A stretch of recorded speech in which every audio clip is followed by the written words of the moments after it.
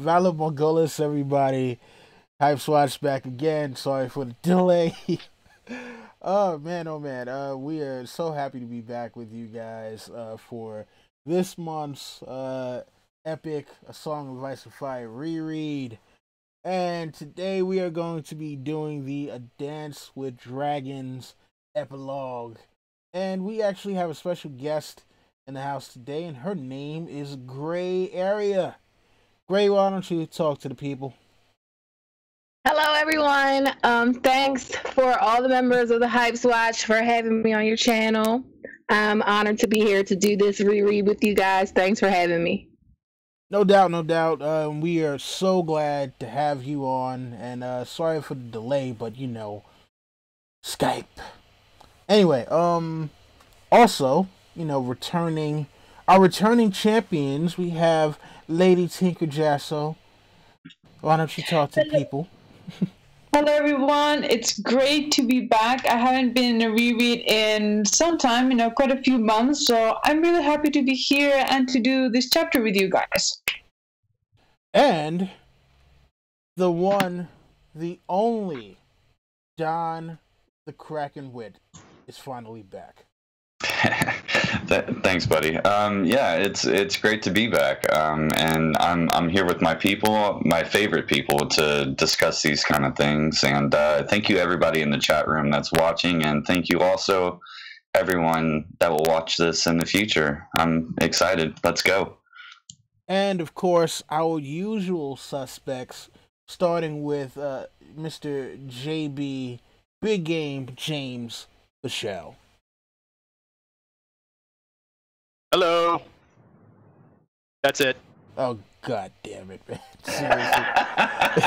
uh Sir LT Giles, the Leoless Knight in the realm. What's up everybody? I'm happy that my chapter got voted back to back. Let's make it three or next month let's make it a three P. That's it. Uh, we can't we can't do that, or else we're gonna have to pay Phil Jackson royalties. Hey, what if I nominate that chapter you guys want? Then they'll vote it. Actually, Pat Riley. Uh, well, last but certainly not least, Jerry the Targaryen. I hate everything that is Game of Thrones Steamboat. well, you know, last week we, we you know we came down to the conclusion that Jon got what he deserved Will we be saying the same this week? Glad you're all tuned in to find out. Let's get this show on the road. Okay, all right. So, this chapter starts off uh, a little different than most chapters because uh, the way that it's set up, we have Lord Red Ronnet Connington in the throne room in the King's Landing Red Keep, and you've got Kevan Lannister in the small council, and they're kind of grilling him about the news that his uncle has taken over Griffin's Roost.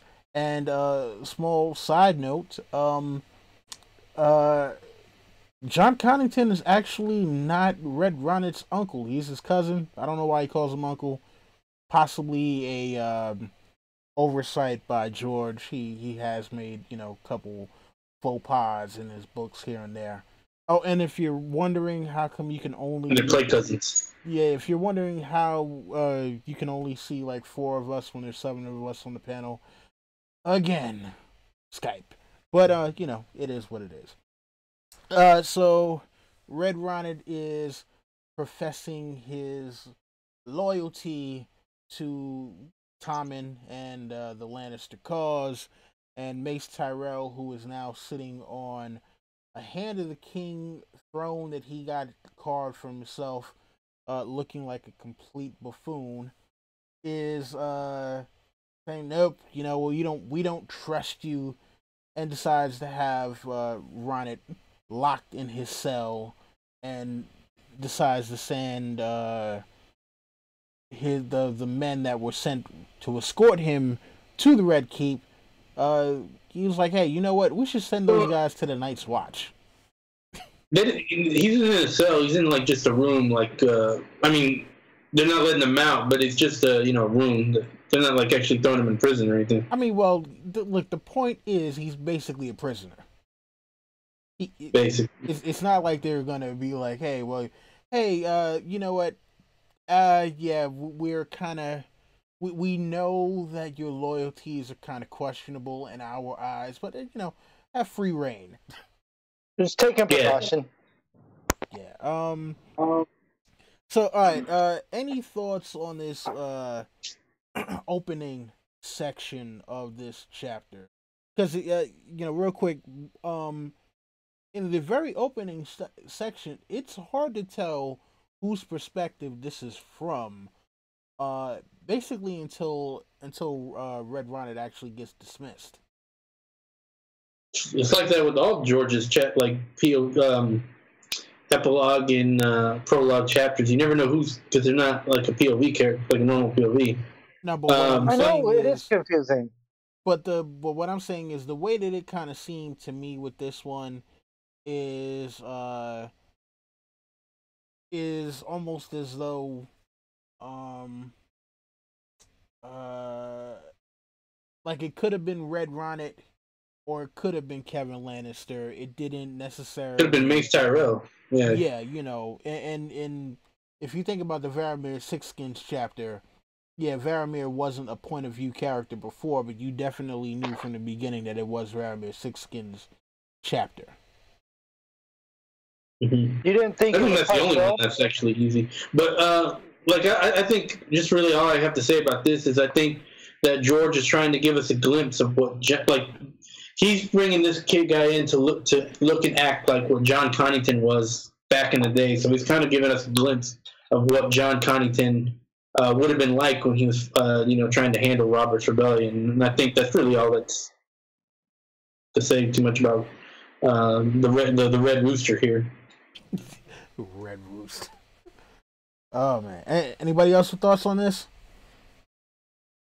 Well, I mean, ex- uh, or, go ahead. Go ahead. Not exactly that, but I think the like what he said about um Red Ronnet kind of showing like what Jon Connington would have been like. The chapter as a whole, I think, shows how good of a leader Kevan would have been. Kevan Lannister. I think he would have been a good ruler.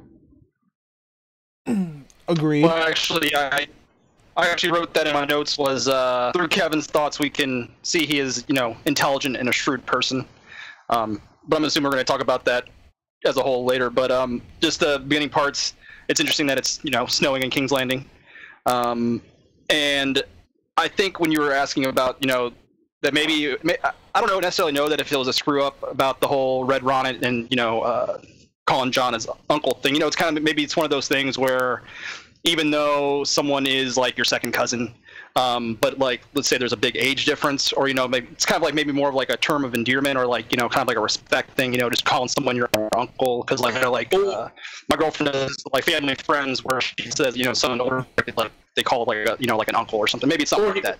Well, I mean, uh, Connington's a generation ahead, so their fathers might have been cousins, and that's why he just says, "Well, uncle, whatever." Well, yeah, they're they're uh, uh, Ronnet's dad what are, is cousins with Jon Connington. Okay, Jon so Connington, they're, they're second cousins, but since he's older, I figure maybe that's why he calls him uncle. Sort of like Yeah, a tier- there's people that are like second cousins that I call them uncle because they're like a higher generation. It makes sense. Mhm. I think it's that simple. Although I, I guess also to add, I want to add too is the reason he's acting all cocky here is he. That's why he's all red and he's a rooster. He's a cocky. He's got the cock of the walk here. Uh, Hey, hey, hey, chill, chill out with the redness. You know, I don't think I don't think um, the Red Rooster knew. I don't think he knew really knew Jon Connington. I mean, he's so eager to bring him his head, like he probably doesn't even know him, or if he did, it was not much. And you know, I guess it's one loyalty or proving loyalty and proving who he's with. You know, but I don't think he has much. uh, To me, when I get here, he doesn't know him that well. You know, 'cause he's so eager to bring him his head. or he's a cowardice and he's bowing down to the higher power and not standing up for the right thing to do.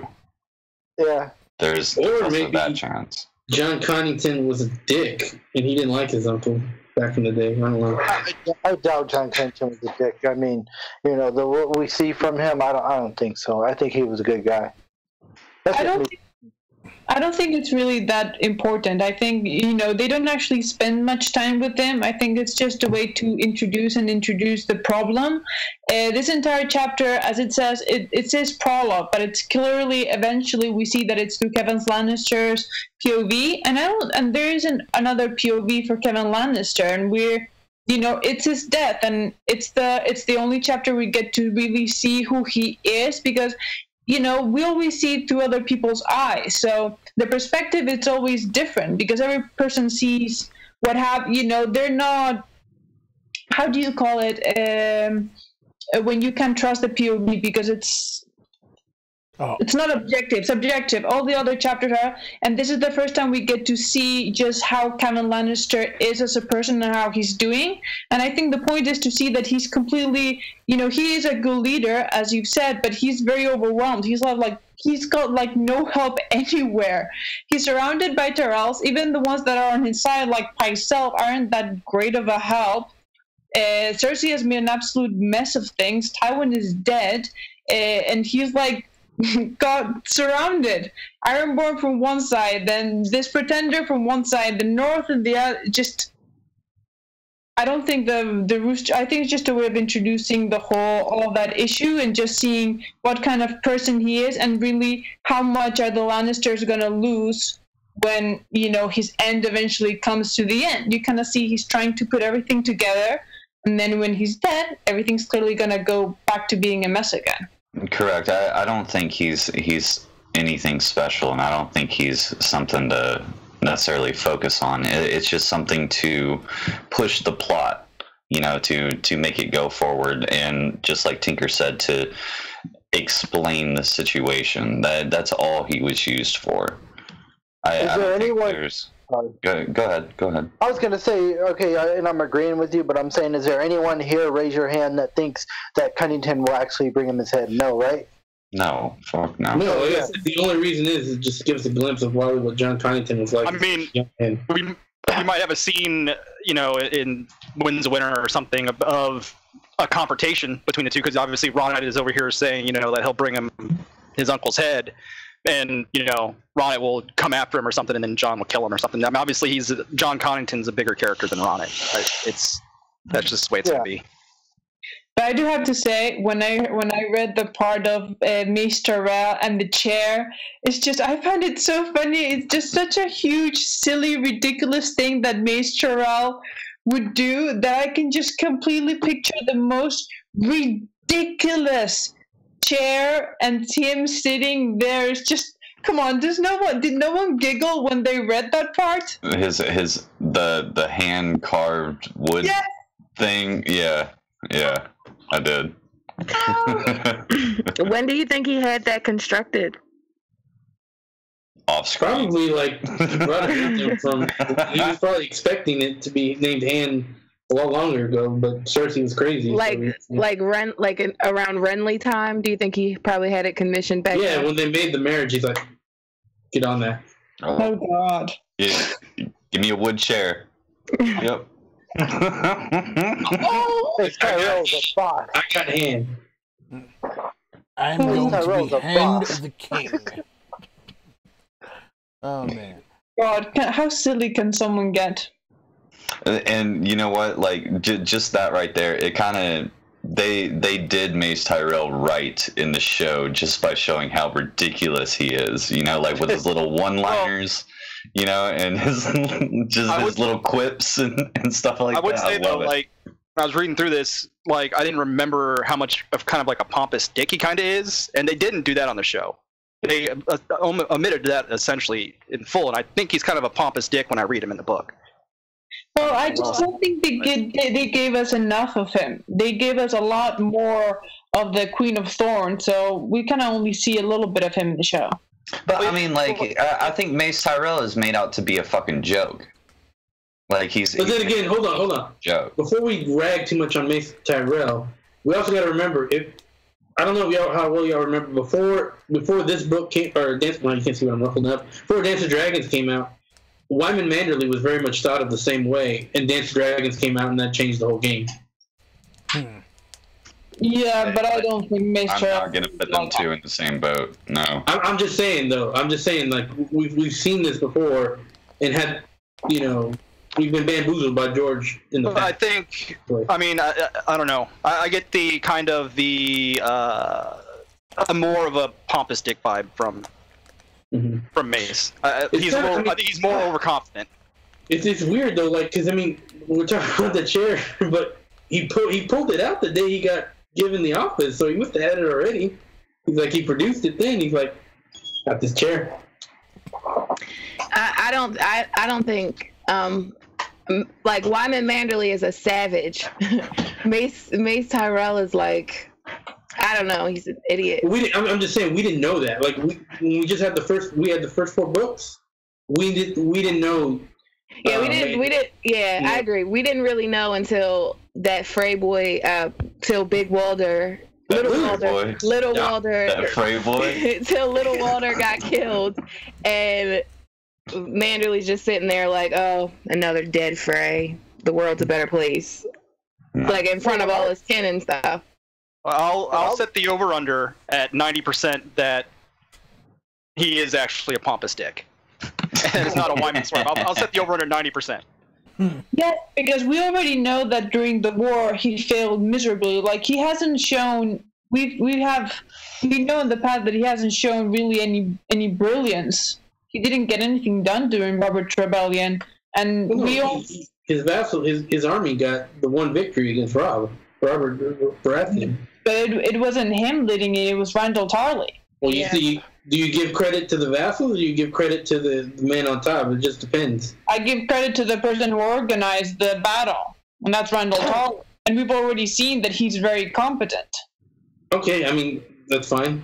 I'm, I'm just I'm just curious because we there's a lot of like uh, what do you call it? like people say Robb never lost a battle. Well, he, that's because he had what's his name organized. Uh, Blackfish organized all his battles. So if we're gonna say that. If we're gonna say Robb uh, had Yeah, but he actually Was fought great. in the battles. so did What do we- so did Mace. What do we really know Yeah, about Mace? yeah. we Rob know. Robb fought in the Vanguard.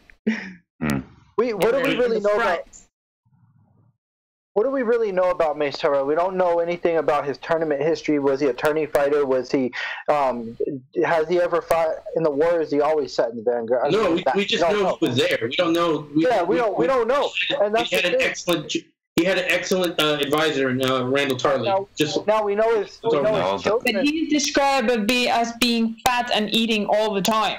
The the only thing he's known for if is you're fat and having eating all the time, you can't be intelligent military commander. Is that what you're saying? I, I, I, hold on. Stop arguing and let me finish what I'm saying. Okay, so we, we do know that Garlan Garlan is a great warrior. Loras is a great warrior. What was the name of the the one that got injured? Um, The that, gimp. Willas. Willas. Willas. We know he was good before he got hurt. So is it in the blood? Maybe he is a great warrior. We just don't know. We haven't seen it. Yeah, I'm, I'm not He saying. might be that old at this point. Like Yeah, yeah, like, that's- got that's what I'm saying.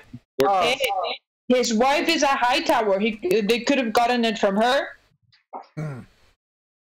Well, probably, think he's a probably. craven. But I'm just saying. I'm just saying we don't we don't know. Um, Yeah, we, we just don't know. command one of the most powerful armies in Westeros, and Mhm. you know we don't know. Tinker, look, look at what you did bring, bringing up a wooden chair. You, you just get into a five minute discussion about Mace Tyrell. I don't think George would pull that trick a second time. The- you mean the Wyman Manderly Mace Tyrell comparison? I don't know. I, I, I don't that's think he's like going to pull the 15 okey doke on, on us twice. He, he, George is known to hold tricks like on us, like the the the death fake out trick. He's pulled that how many times? I don't know. Well, what we do know, what we do know that's for certain is that the Tyrells are changers, or they change their loyalty. So if Aegon comes in and takes King's Landing, he'll probably bend the knee to Aegon and and and fuck the Lannisters. I mean, If, he's, how about- okay, how if he's alive.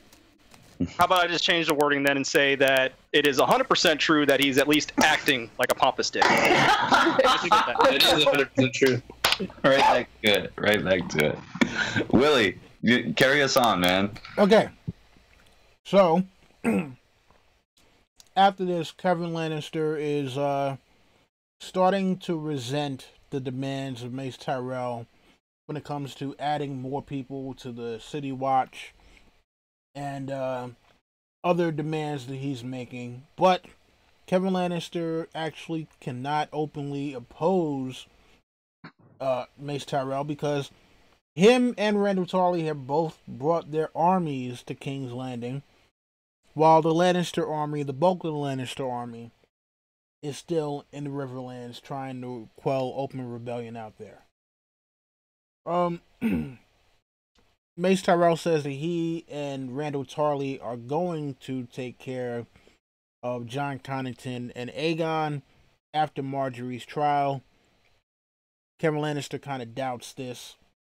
And, you know, he kind of openly kind of goes at them about that. But Mace like, look, look, look.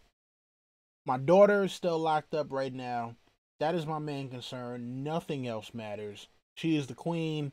She needs to get out. Oh, and by the way, why can't Tommen just let her go and, and say that she's innocent? And Kevan Lannister explains to her, look, you know, we got the faith militant out here, these poor fellows running around beating up everybody. Um, the thing that we need to do is we need to have this show trial go on and let the faith think that they won everything or else it could turn into chaos. And that is the thing that we don't need right now. Because we don't need the faith militant and whoever else deciding that they're going to join up with either Stannis or Jon Connington. And especially at the time when the Iron Men are still raiding the West Coast. Um, Mace Tyrell says that Paxter Redwyne is going to take care of the Ironborn and Stannis still has to take uh, has to uh, face Roose Bolton, and also it's winter in the north, and Stannis is not a northerner. Um, he also dismisses Jon Connington and the Golden Company, saying that look, these guys are nobodies. They're a bunch of adventurers just looking for adventure. And the moment that they taste real battle, that they're gonna be done for and they're gonna be out of here. The Motherfucker, they are raiding right now. I mean, hey, Hmm. you know, look, this is Mace Tyrell talking, so Hmm. you know, you. He's you telling us everything that's going to happen right here. He's telling us that the Redwyne fleet is going to get smashed. That um, they're underestimating all these. They're telling us what's going to happen right here. Well, are they going to get smashed? 'Cause it- No, Yeah. I, I think I think he meant to, to say the Ironborn. Like they're they're expecting that the red Redwyne fleet is gonna smash the Ironborn. No, no. See They're, what gonna, I'm they're, saying? they're expecting no, to take the Shield Islands back. Is what they're what. I was saying is, you know, that the Redwyne fleet is going to get smashed by the Ironborn this time, and um, all this stuff that he's They don't mentioning, believe like that. I believe. No, that. I- I'm I- saying, but I'm. Oh, go ahead, James. But doesn't I get what on, hold. LT's saying. Wait, wait. I, I get what LT's saying. He's saying that by them saying this, it's- he's not saying that they're saying it explicitly to him, but he's saying that the story is like going to flip it. Is going to You say Yeah. George telling us Yeah. the opposite. Yeah. But, But but what, what I hold on. find, doesn't Euron's isn't Euron's plan to give the uh to allow them to take it back? Like like he's playing them for fools. I think like with them trying to take it back, isn't he?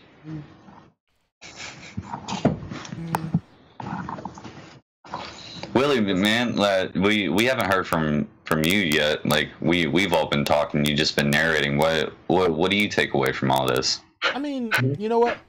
I do agree with LT on this one. You know, um, I think that everything that Mace Tyrell is thinking is going to happen, the opposite is going to happen, and even the fact that Kevan Lannister is thinking to himself, like, look, you know, Jon Connington lost against um against Robert Baratheon, and he's been exiled for like almost twenty years now. I'm pretty sure the guy's probably picked up a trick or two. And he has the Golden Company. Uh, You know, and Mace Tyrell is like, look, you know what? Jon Connington was a failure during Robert's Rebellion, and the Golden Company have failed every time that they've tried anything. It's not a problem. And the thing that uh, Mace Tyrell fails to realize is right now, uh, you still have a country that is uh, still reeling from war you know the seven kingdoms is not whole at this time so uh, um he's kind of underestimating the fact that you have uh, one strong force and i mean remember the golden company is supposed to be basically the most powerful sellsword group in all of Essos. Yeah, they are. Is it They- just all the uh, all, all of them are broken men. They they have nothing to lose, and they're just there for gold. So they'll do anything. they might have Blackfyre. They might have Blackfyre. Well, Which- almost, no, which actually, no I think Blackfyre is with. Uh, it's either well, it might because it might be with Aegon uh, or Fagon, because if you read the if you read if you listen to George narrate uh, one of the chapters prior to um, Dance coming Dance coming out, the sword was actually there was a mention of a sword in the background of Il- uh, Illyrio's um, what do you call it? his mansion, which was which might have been Blackfyre. Hmm. So they might have they probably have I definitely think he's gonna get Blackfyre. Whoever has it, I think Aegon will get it. Like uh, Aegon, Fagon. Fagon. No. Aegon. Aegon. Um, the truest. Well, his name, his name is Aegon. uh, hey, let's uh, let's have that conversation for the end of that. Yeah. Yeah, right, we, we true, could be here true. for five hours just talking about that one and just be back and forth. He's true. He's false. He's true. He's false.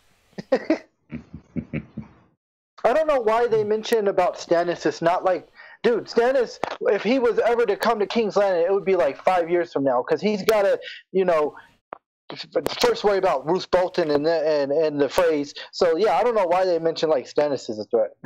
It takes some time. What else is Uh, going to He's take some always- time for them to he's always so a They got to threat. plan ahead.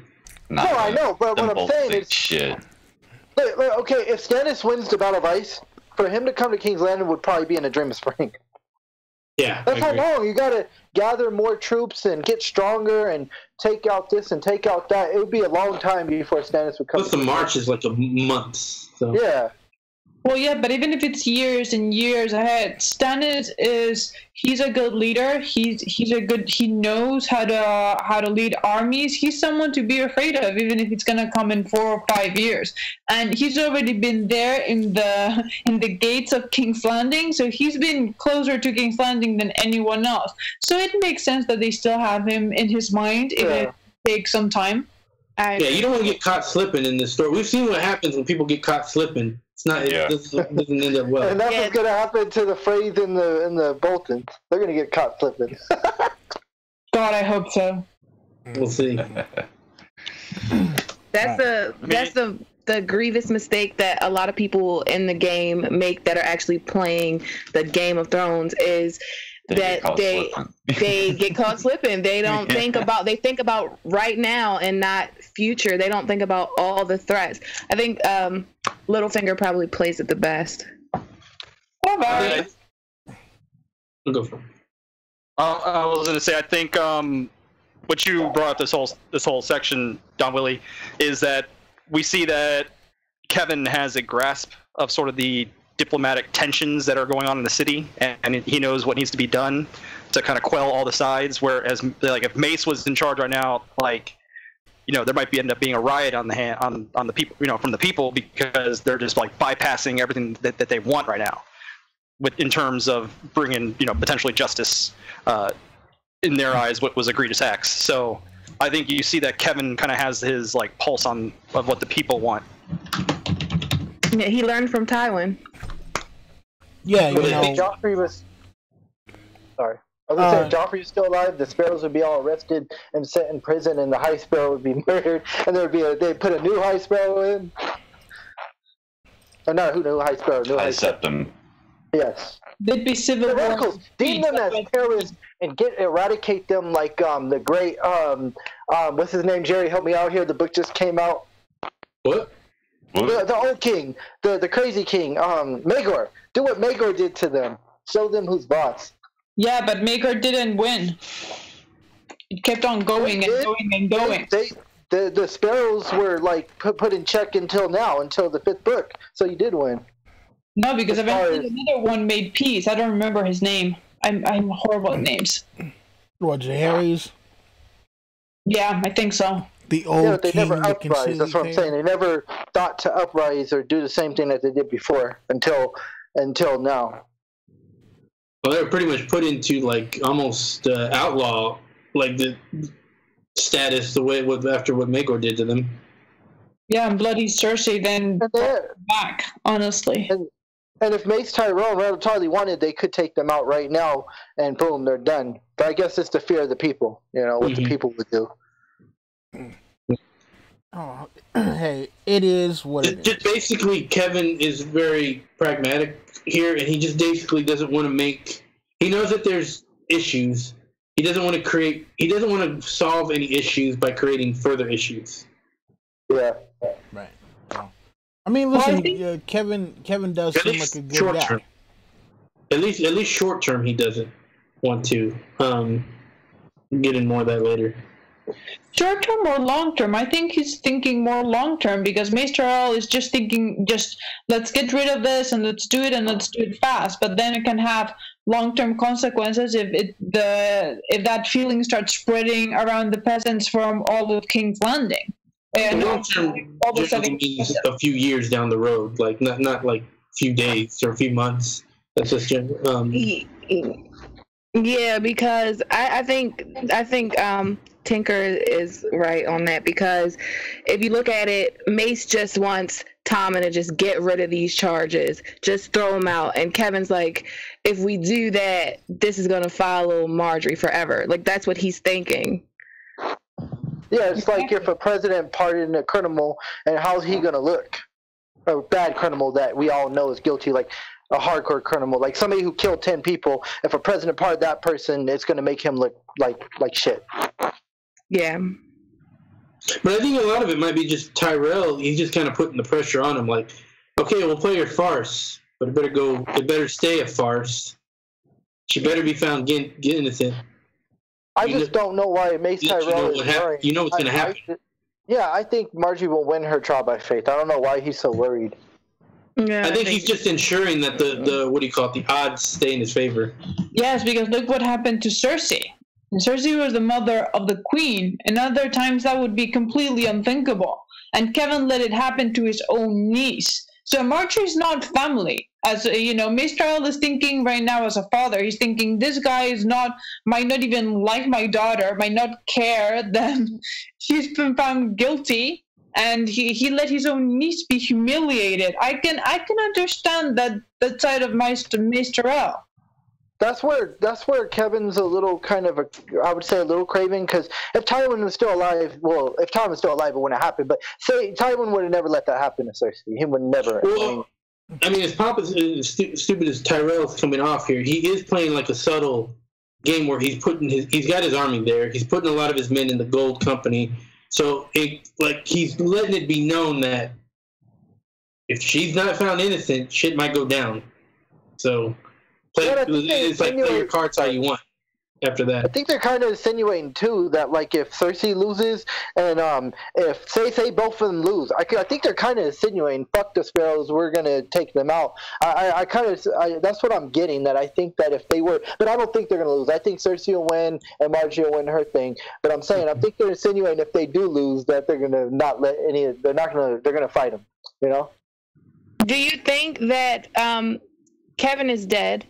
So Mace Tyrell becomes basically he's he's the hand of the king, so he's gonna be the one in power making decisions now over Tommen. Do you think Unless he's gonna let his daughter go to trial?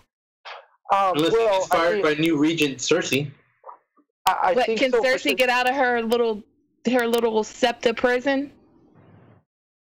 She- Yeah, she's see, this is gonna eventually. Here's the thing. It's, it's, it's how we get spoiled a little bit. I mean, and I know Jerry hates the show, but um, how they show us how Cersei came back into power in the show, I believe that's going to happen in the books too. I believe that, you know, because what Kevan says, her reign is over. She will not have no more power. I think they're telling us the opposite. I think she's going to take come into power and she's going to be running. I'm not saying she's going to become queen again, like uh, like the show, but she's going to come into power again and.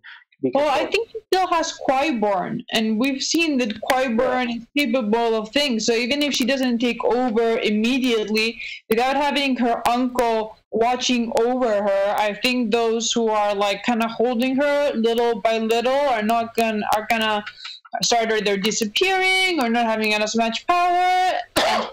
And she's gonna she's gonna do something. We've had too many too many things that we've heard that have compared to her like going batshit crazy that I do think that she's gonna do. She's gonna try to do something to the Tyrells. To you know, this episode we in this chapter we see her and we see her very calm.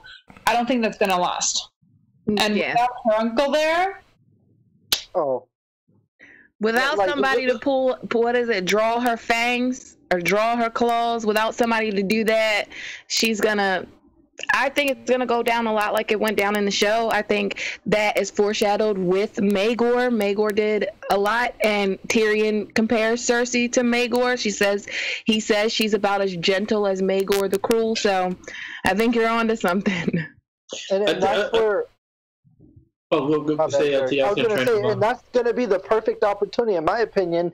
Um, I know I'm getting a little ahead here, but if if say Cersei's trying to take out the Sparrows and there's chaos in the city, that's the perfect time for Aegon to swoop in and take everything, and when nobody's aware, and, and take the throne. Yeah, I I mean, I know we're getting a little ahead like on that. So, uh, Don Willi, do you want to move on to Harys Swyft and uh, Tarly talking? Uh, yeah. So, you know, after this, uh, the small council basically is saying, "Hey, look, you know what? We need to take care of Jon Connington and Aegon because if we don't, they could actually decide to join up with Daenerys. And even though they don't believe that Aegon is real, they definitely know that Daenerys is real, and they're scared of her dragons. So Pycelle offers to try to buy off the Golden Company, but Harys Swyft, who is now Master of Coin, is like, hey, uh, yeah, maybe not so much. But the Iron Bank is calling in their money. Cersei's been blowing them off for months now. Uh, we tried getting some loans from Myr. Uh, they're not really giving us favorable terms. Oh yeah, and also there was that whole thing with all of the fabled wealth of Dragonstone, which has not been found. And Mace Tyrell kind of gets angry about that and is like, look, my son went and, you know, turned over that entire castle, didn't find a damn thing, not even, you know, the dragon eggs that were supposed to be there. And Kevan Lannister thinks to himself that, you know what, uh, he probably didn't do that great of a job, seeing as how it was built by Valyrian magic. So who knows what could possibly be left there. But Kevan Lannister decides to say, "Hey, well, you know what? Stannis probably just took all of all of the valuable stuff when he left." Uh, so Kevan says to Harys Swyft, "Hey, you know what?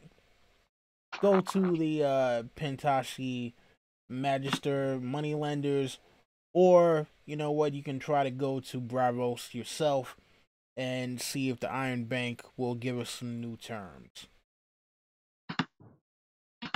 So, uh, what are we making of this whole turn of events with basically now everyone who wasn't necessarily aware of the financial situation?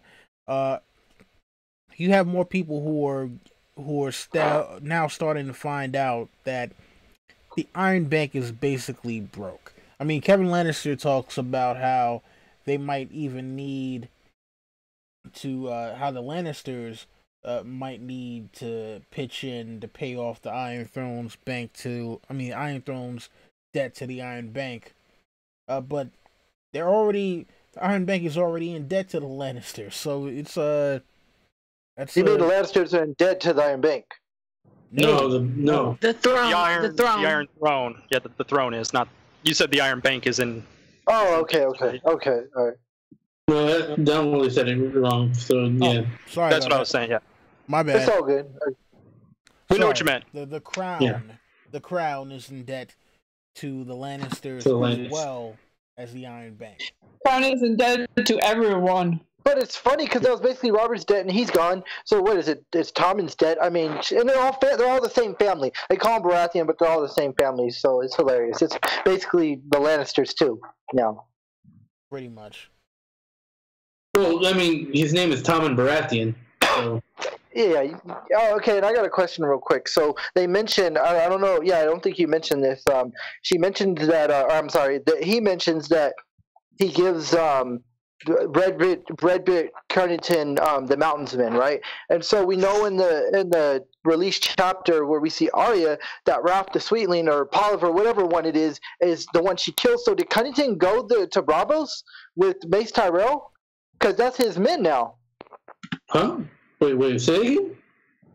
They mentioned earlier in this chapter that um, that they gave the Mountains men to Connington. To, to No, no, they gave they no, they gave him the to Harys Swyft. I thought he said Connington. Okay, I got confused there. My yeah, bad. and then they sent Swyft over there, so that's why he's got. Yeah. Okay, my bad. Sorry for the Well, I think.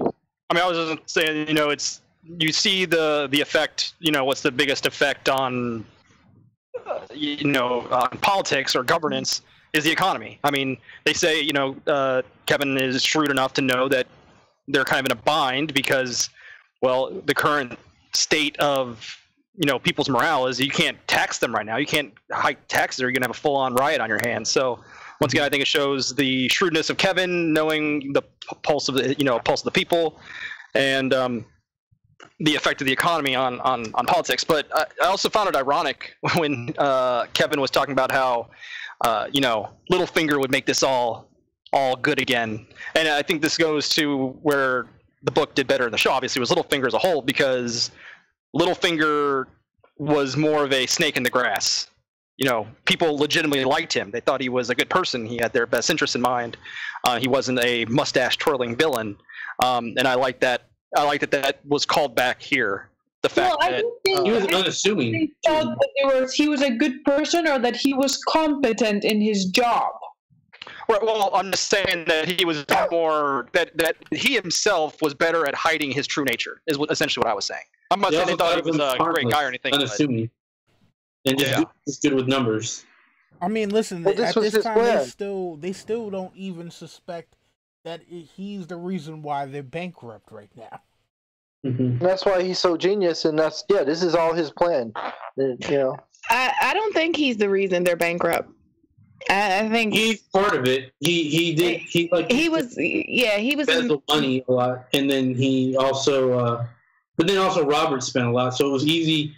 It was easy to embezzle money when Robert was asking for a lot of things. He's just you know spend, but like the joke, you know, he spent hundred dollars on the toilet, twenty, uh, you know, or sorry, hundred dollars on a toilet seat, you know, thousand on the actual thing. Well, I also suspect that he really encouraged Robert as well because we also don't get his PO, neither of their POVs, and we've He already him. He just let, he just like here you go. and and and Littlefinger is very good at getting people to do what what he wants them to do without actually telling them to do, and I think he and I think he was really good at probably encouraging Robert to like overspend and get him. I don't think he was good at encouraging him, but I think he let a let an image of like, well, whatever you want, you can do this because I'll take care of it. Like, well, I mean, he may not have encouraged him, but it's like it's like a thing, you know, like um, let's say you're uh, a parent and your kid is like overeating all the time, right? Well, you may not be encouraging him to eat all the time, but you're not stopping him either, Yeah. so he's gonna get fat. Yeah. It's I think it's I kind don't of think the he was thing. enabling him, but he was like, he was also saying like, I'm so good at my job, it's not that important that if you want to do that. Lit- Littlefinger was using reverse psychology on Robert and getting him to spend as much as possible. I don't know. I mean, I don't think that's true. I just think he was really good, and he didn't You're stop. always defending Littlefinger, Jerry. Come on, he's a villain. He's but not. he a wasn't dude. talking to like that. Oh, No, he was right I mean, there. Love Littlefinger. No, I- no. if you look at it, if you look at it, um, King Robert, he didn't hardly attend any small council meetings. He was just a bad king. Um, it's easy for people like Littlefinger to exploit that, but at the end of the day, the fault lies at Jon Arryn and King Robert. True. Well, Jon Arryn, I, I think that you know what we already saw with Ned. Like Robert Baratheon is just, what do you do with a king that doesn't want to listen to you, even if you're the best hand in the Well, world? he did listen to him. He put Jon Connington's the one who put, and I'm sorry, Jon Arryn's the one who put Littlefinger at the mid master point. and some things, but in other things, Robert, come on, he was. Gray said it. He was a terrible, terrible, terrible king. Oh, he was. Yeah, he referred to the small council meetings as what they were just sitting over there counting coppers and shit. You You know, Jerry's Jerry's the only one, and, and I admit Littlefinger's a genius, but Jerry's the only one who can admit that Jerry Littlefinger's is a the only snake. one. But I don't make that Jerry stuff is about Littlefinger, like only saying he was twirling his mustache and behind whispering these secrets into Robert's ear. No, like Oh, a he villain was. ju- just twirling. Yeah, like, I- I don't- I don't make up stuff. like he was What I think- investing money. Dude, He was, he's- uh, but he wasn't like, "You should do this. Come I on, guarantee guys." you, Robert said, "I want to." was I a want. great man. Like, Oh, guarantee- yeah. shut up. he, was, he wasn't doing that. Like, you're just, you're just, you're just trying to make this like a Harry Potter or uh some Oh, kind no, of. no, no. I, I'm not saying that he was like that, Jerry. No, not like the show. He was. He's so. He's, he's way too smart in the books and way too Alright. clever off. hey, the gavel just got swung and slammed down. Jimmy B wants to move on. Yeah, let's move on. Let's stop making stuff. up. Baelish was right. Anyway, so um all right so next up uh they decide to talk about cersei's trial by combat and the fact that she has chosen her representative her champion as sir robert strong and mace tyrell and randyll tarly are kind of like listen uh who is this guy how have we never heard of him you know, he's some giant who comes out of nowhere who gets put on the King's Guard. How in the world is this even possible? Um, but they can't question it too much because who else do they have? You know, uh, Cersei wants him on the King's Guard. He's on the King's Guard. There were enough slots open because King's Guard members are, you know, dropping like flies nowadays. Um, Meryn Trant, you know, like has been spreading rumors that he's never seen uh he's never seen Robert Strong eat or drink. And Sir Boros Blount says he has never seen him move uh seen him use the privy and Kevan Lannister says that's because dead men don't shit. Uh and at this point it's kind of one of those open secrets where yeah, everyone knows who he is, but no one knows who he is.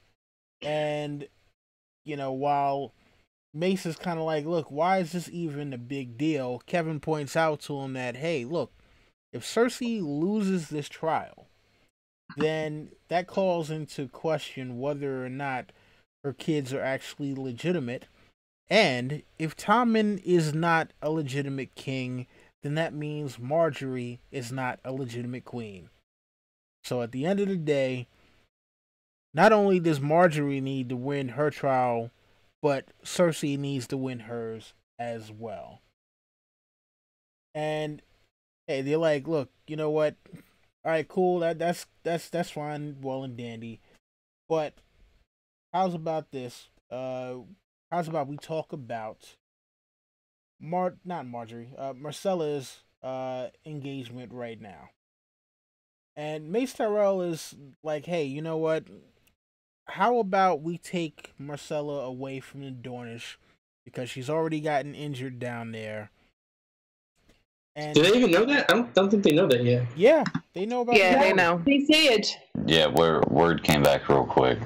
Yeah, they don't know the full extent. They know that she's been injured, and they know that uh, they have people out there looking for Darkstar, but they don't know the the full extent of what happened. And they also know that um, uh, which is it, Tyene? Lady Nim. Nim, yes, Nymeria right, coming. right.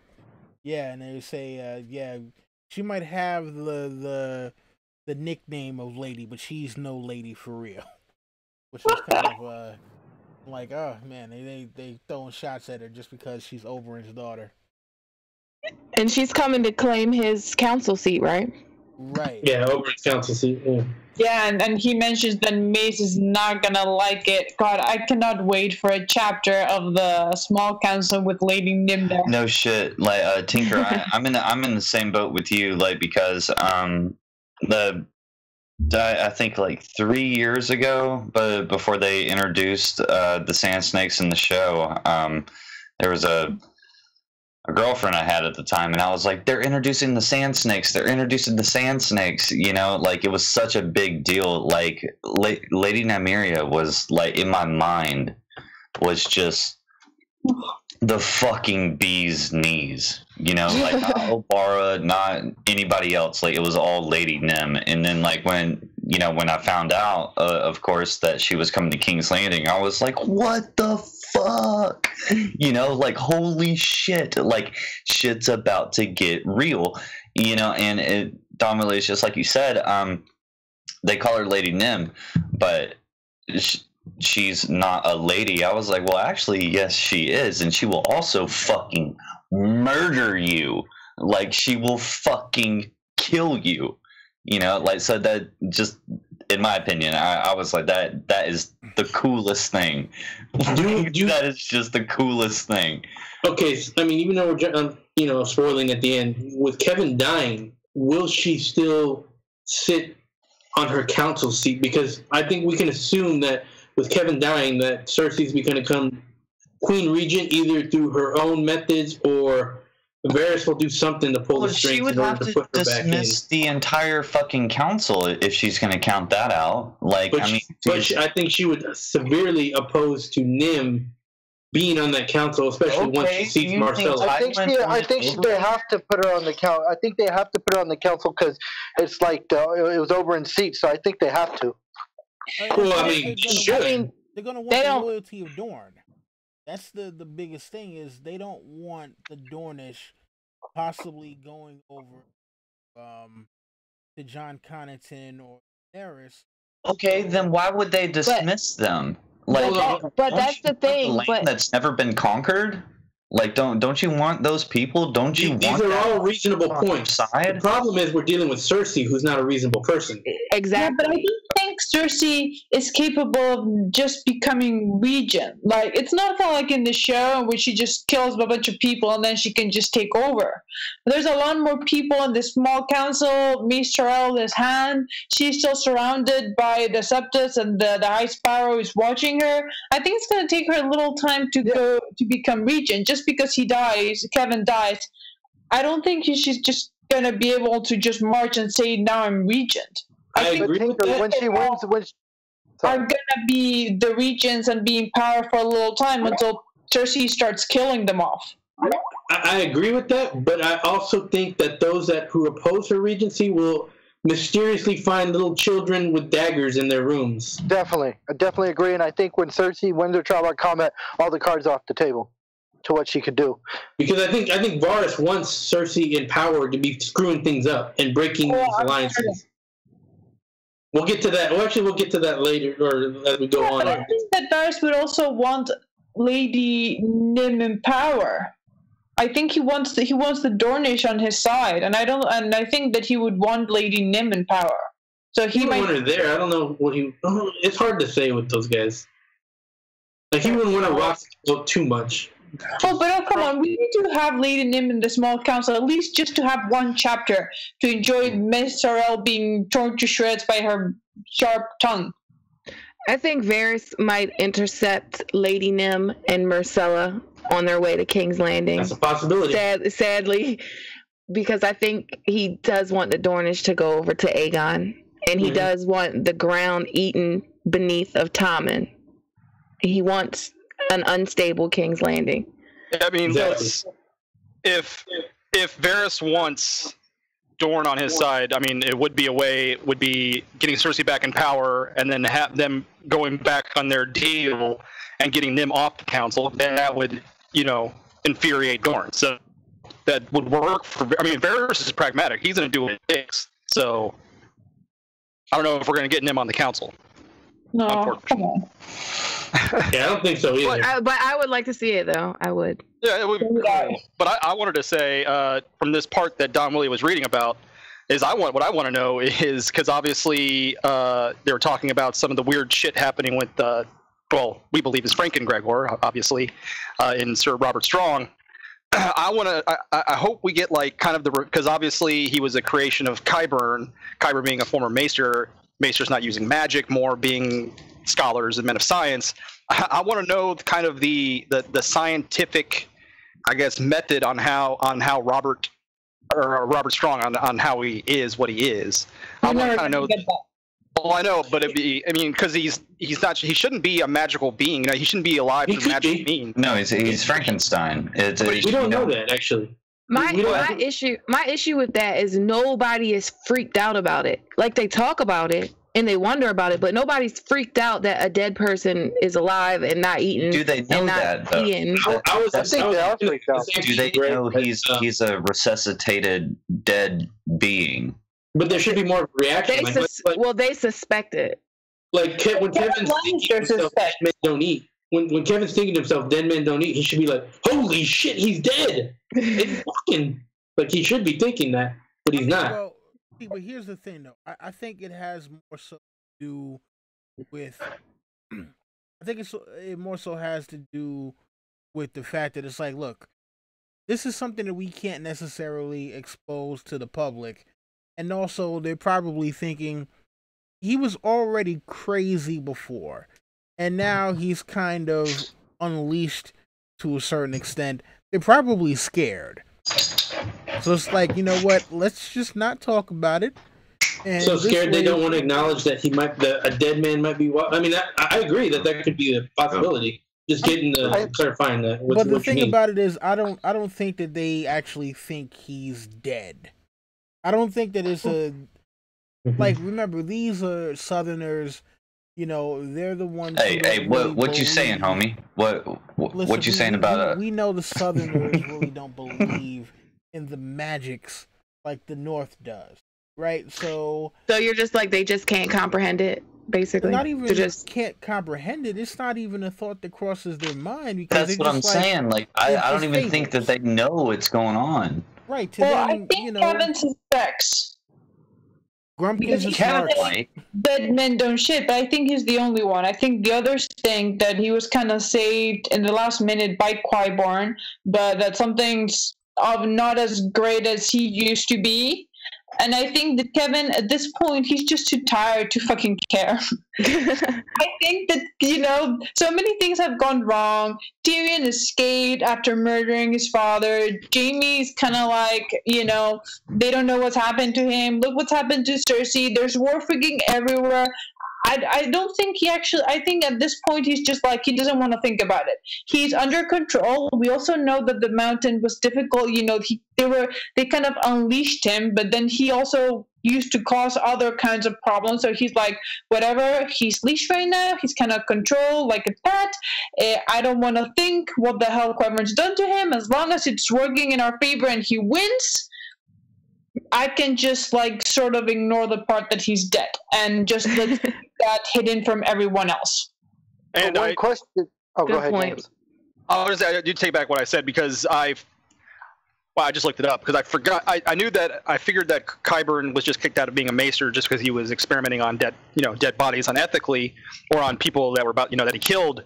But I guess they, there is a rumor that he was dabbling in black magic and necromancy. So Oh yeah, he he, he him and uh, well, he's definitely ma- like he's definitely studied magic and he knows he's worked with uh, Marwyn before, and as we know, Marwyn has been doing magic because that's how Mary Dor was able yeah, to and resurrect Drogon or Drogon. He never sorry. got booted, did he? Marwyn never got booted. He he no, Mar- own still there. So I mean, it, it's definitely rooted in magic. In fact, I think a lot of the screams that we hear from coming from the cells might have been, you know, him burning people with fire. and Seeing as we see fire as a magical thing here in the thing, and he just might be experimenting with it. It's like Oh, we don't know how he brought back Robert Strong. But one question, Jerry: Is Franken Mountain scaring the little girl? Yes, he's scaring all the little girls and the little men too, and the little LTs. and the little LTs Okay, I have And- no and- and the little are talking about. willies. All right. And the little willies. But uh, uh, yeah, but anyways, yeah, we didn't get off topic here. Um, one, thing I did want to mention, um, and that was a good point, Gray Area, about what you said about. I wanted to mention that too, but I'm glad you did. Uh, was Tarly was was uh, Randyll Tarly here? Is because Kevan Lannister has talked. Uh, it's like yeah, the Dornish could be a problem. The real problem could be Tarly. He's the real danger. How does he get him on his side? And that's where one thing I think that uh, Kevan Lannister kind of screwed up by naming uh, Mace Tyrell the Hand of the King. I think Jaime had it right when he probably should have named um, Randyll Tarly as Hand of the King because that brings that would have brought him onto the Lannister side, uh, and also it would have been one of Mace Tyrell's guys that have been on there, so you would have placated both men, accomplished both goals if you would have done that. However, I think Tarly, and I think the show kind of spoiled this. Tarly is a real danger because I think he's joining Fagon. Um, what do you guys think? You think he's gonna go to um, Fagon and not Daenerys? Yeah, I think he's the friends. Like when we see in Arianne's chapter, he's a, the friends in the Reach. I think that's well, we we got we got to get through Fagon before we get to Daenerys in, in, the books. Yeah, we we have to handle this situation at home in, in Westeros. Fagon and Connington coming, you know, like they're pushing the buttons right now and then we'll deal with Daenerys later. Could you see a potential marriage between Fagon and Myrcella? That'd be cool. I could see a potential one, but I think it's going to be Arianne that's going to do the marriage. That's the one I think it is. I think it's going to be Fagon and Arianne. Yeah, yeah, because at the end of the day, the Dornish do they do want uh some sort of some power. Arianne kind of got a little uh, ticked off at the fact that she thought she wasn't going to be queen, and so this is her opportunity now to, uh, you know, for her father to kind of make good on his promise to her. And it'll all end bad for all of them. It'll, yeah. it'll end in Dragonfire. Yeah. But what do you think about Charlie? Like, I mean, I brought, I brought him up. Like, what do you think? Is, yeah, I was going to say we, we hadn't really talked about. No, I think I think Tarly will be with Vagon. I think he'll it, it, that it, it's it's setting it up for him to jump ship when they get there. And uh, I mean, obviously, they didn't do it in the show because they didn't have Fagon on the show, so that they kind of just switched that around. But I think it's kind of a big deal. Like he's he's like the the best general in Westeros, pretty pretty mm-hmm. much, right? I think um, I, I disagree. I think he's gonna align with Cersei. I, I can't see him wanting to fight under the Golden Company. I, I mean, or wanting wanting to be partners with them. You think he's anything. too loyal? Like he's he's, he's too. I mean, he's his ways. Yeah, he's like he's he's like that like an old prude like i don't think change is something like he can't accept sam because sam is different it's like he, he doesn't know what the internet is so he's not going to get a computer so he's not going to get a computer yes. yeah yeah but okay. he was a targaryen loyalist you know uh remember the the tyrells and the reach in general actually fought uh for the Targaryens during Robert's rebellion. So till the bitter end. Yeah, so I could see him saying, "Hey, you know what? These people were the rightful uh the rightful ruling family and if Aegon's not dead, then I actually owe my allegiance to him." He not to mention he, he could may... jump up and be the man in the reach if he takes if he sides with them and they knock out uh the Tyrells and the Lannisters the reach is his. Well, hey man, uh, don't don't forget if I punch you in the face enough, I can make you do whatever the fuck I want you to do. I That's the Randyll uh, way, man. That's what he thinks. To me, to me, the biggest hint is is Randyll Tarly keeps like downplaying the Connington threat. This whole this whole chapter, he's saying like he's fake yeah, he's like saying it's fake. It's you know, it's not real. You know, I think he's I think he's just trying to downplay it. I think that it's you know, it's trying to subvert expectations and that Dude, this, I think he's This is the best raid we've seen in a think, long time. I don't think he respects it. But like, no, I think I agree with Gray. Go ahead, go, go ahead, Tinker. I, th- I, I think I agree with Gray. Uh, he is a he is a good general, but he is very set in his ways. The way that he th- he's very rigid. We've already seen it. He's one of those men that is just doesn't bend, doesn't change his ways. He thinks about honor, what's right, what's wrong, and I don't see him someone as just changing because it's convenient. I, I just don't think it's in him. Well, he's like I think the thing stick. is, though, you said yourself that he's rigid set in his ways. I mean, he's a, and if he's a loyal man, he's been loyal. He was loyal to the Targaryens in the past. Yes, just, but, just all. He was, he was but, but then they were conquered. Was, they were defeated. There was another, you know, the, the the Targaryens became the, the kings and queens of Westeros when they conquered. When they lost the war and, and Robert conquered, he took over the throne by right of conquest. Not because you know they said that the that he was second cousin or third cousin. I you know his grandmother was a Targaryen. But no one really cared about that. It's because he won and he conquered. And then the You two other are Targaryen uh, are Daenerys, which is a woman, and we already know that he's a sexist idiot that I don't think he would follow a woman. And then the other chance is Fagon, which we which he would actually have to believe that is real. So he's a boy lover. And and I don't and and not only that, someone who was raised outside of Westeros, who was raised with different in the you know, uh, who has an army of self swords, Randyll Tarly, who's so set in his ways, who is incapable of of accepting Sam because that he's different. Do we really, you know, do we really believe that he's capable of of accepting either of these two No. persons going Yeah, yeah. Actually, you know what? He might be don't looking. He might be looking at Tommen and be like, "This chubby little boy who loves cats. I have this It, warrior." it, it doesn't matter. That's the He's still crown. child. It's the crown. Huh? Yeah, that it's the crown. Like he's looking at the crown. Like that's where his allegiance is pledged. So You know, I, like go ahead. Oh, Okay. so so I look at the um I look at Randyll Tarly like this. Randyll Tarly was he a Targaryen loyalist? I'm not Yes. sure. He was a loyalist to his liege lord. The Tyrells were Targaryen loyalists, and of course they were going to be loyal to House Targaryen because Ha- House Targaryen raised them up from stewards to become lords.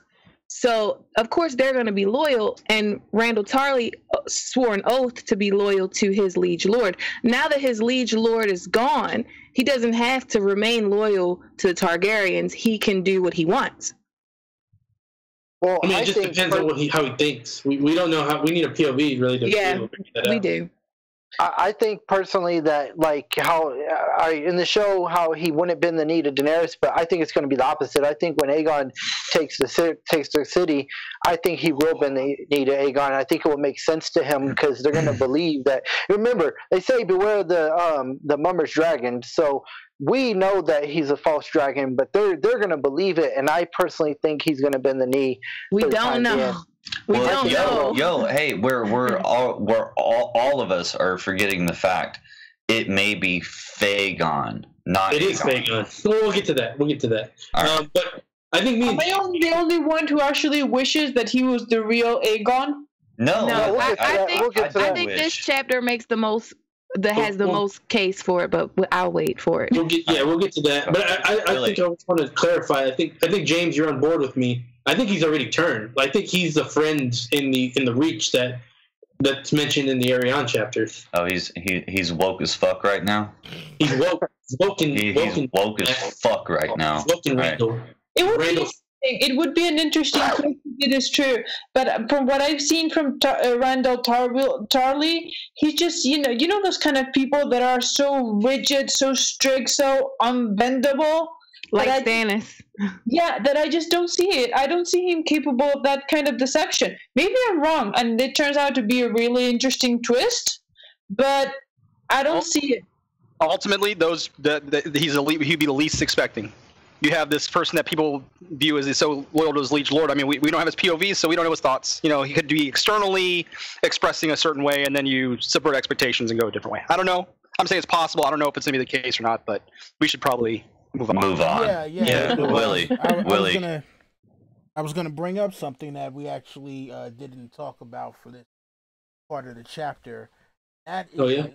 the fact that no matter whether or not Cersei is innocent or guilty, She's Cersei- guilty as fuck, dude. What are you but, know, talking about? Cersei will, be, Cersei will be put out of power. Fucking going to be shame. Burn back. that bitch.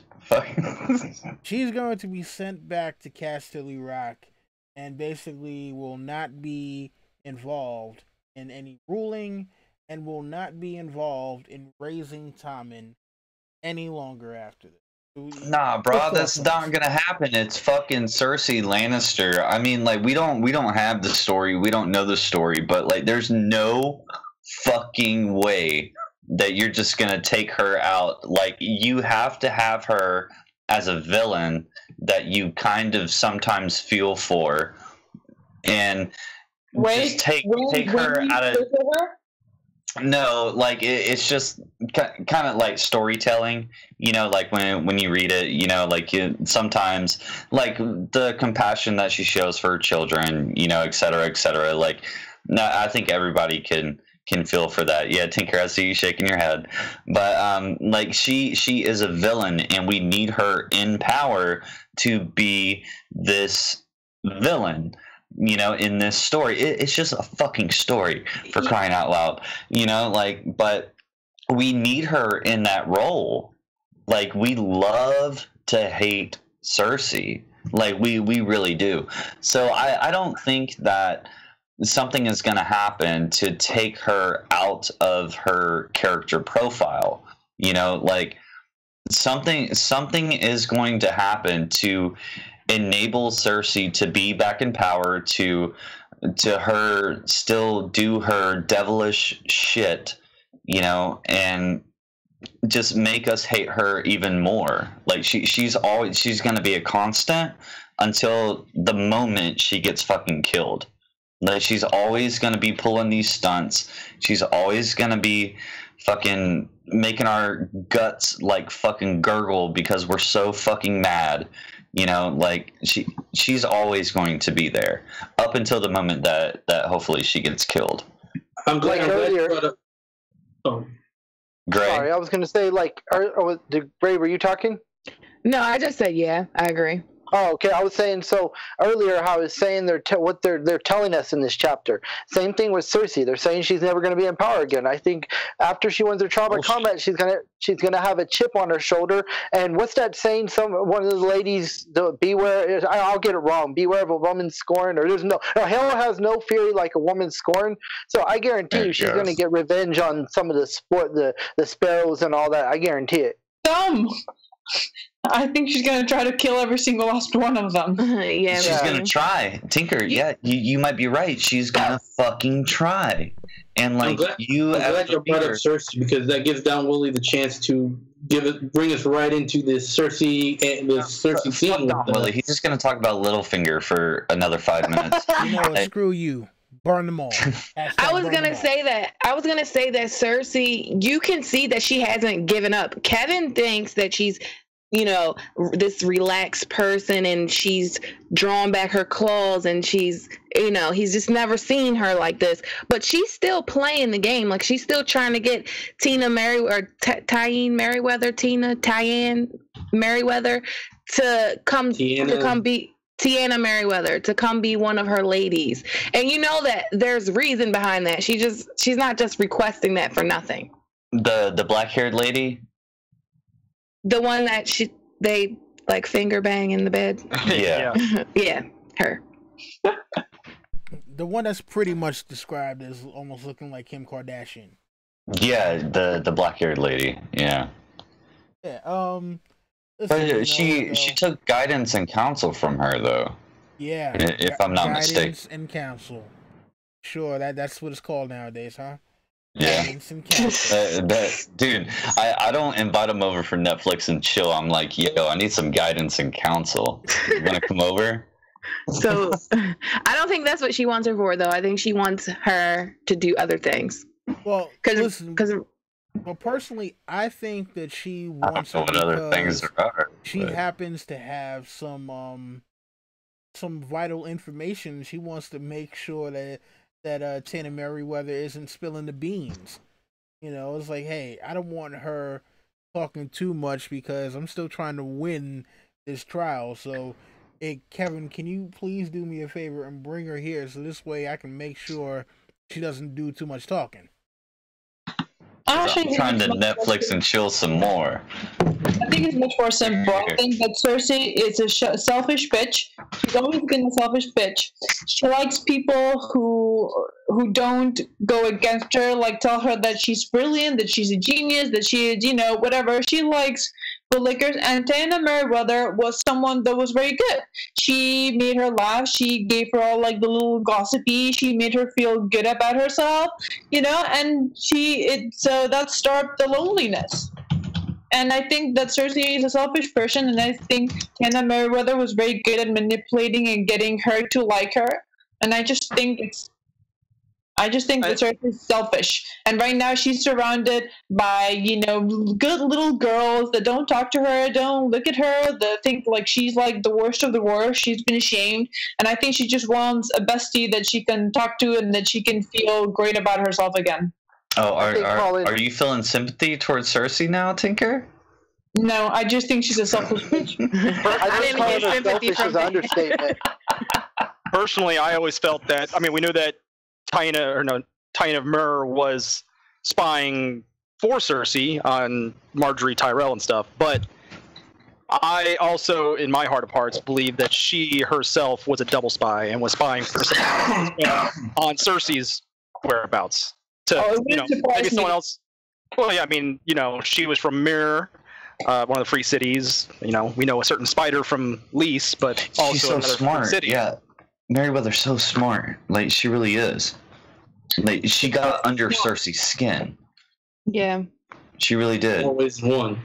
Mm-hmm. But I like that. I like that that um the thought that she could be working with Varys. I like that. That would be really dope.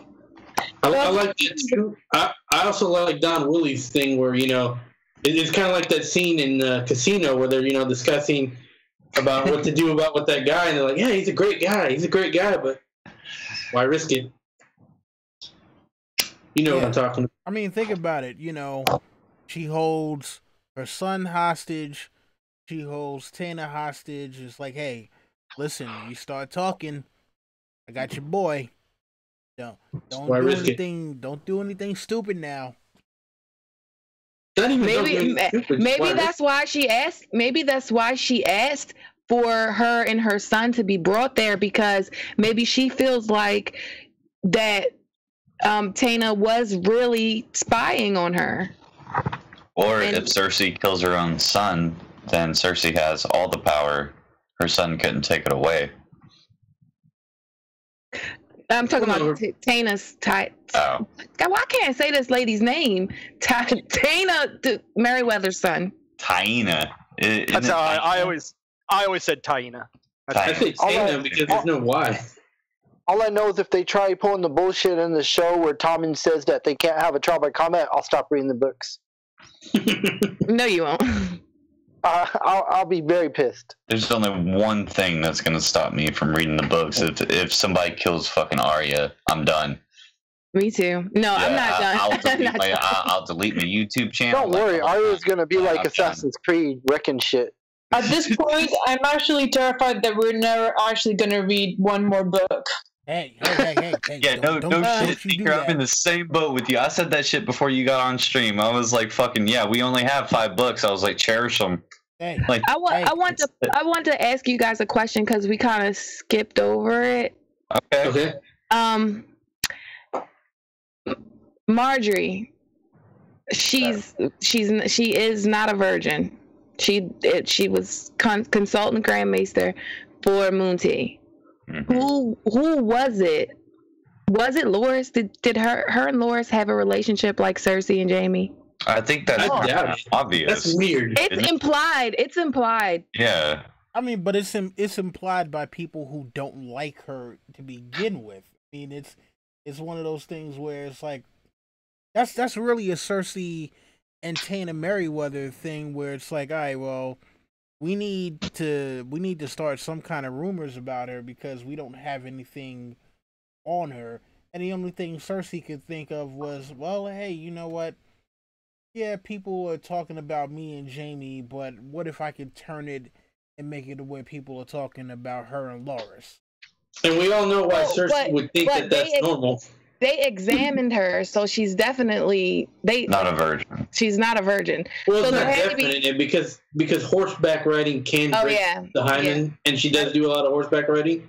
that's so it's possible, and that's and that's the explanation they give. No, here's here's everybody, everybody that's watching this, everybody in the panel. Like the, this is all of our conspiracies coming together, like in us trying to dissect something that may just not be there. Maybe Margaery was just a fucking slut. Could be. Just went around fucking people. I think she I don't think the movie was- for one of her one of her that. ladies. Like, I mean, like maybe she just went around and just fucked whoever the fuck she wanted to fuck.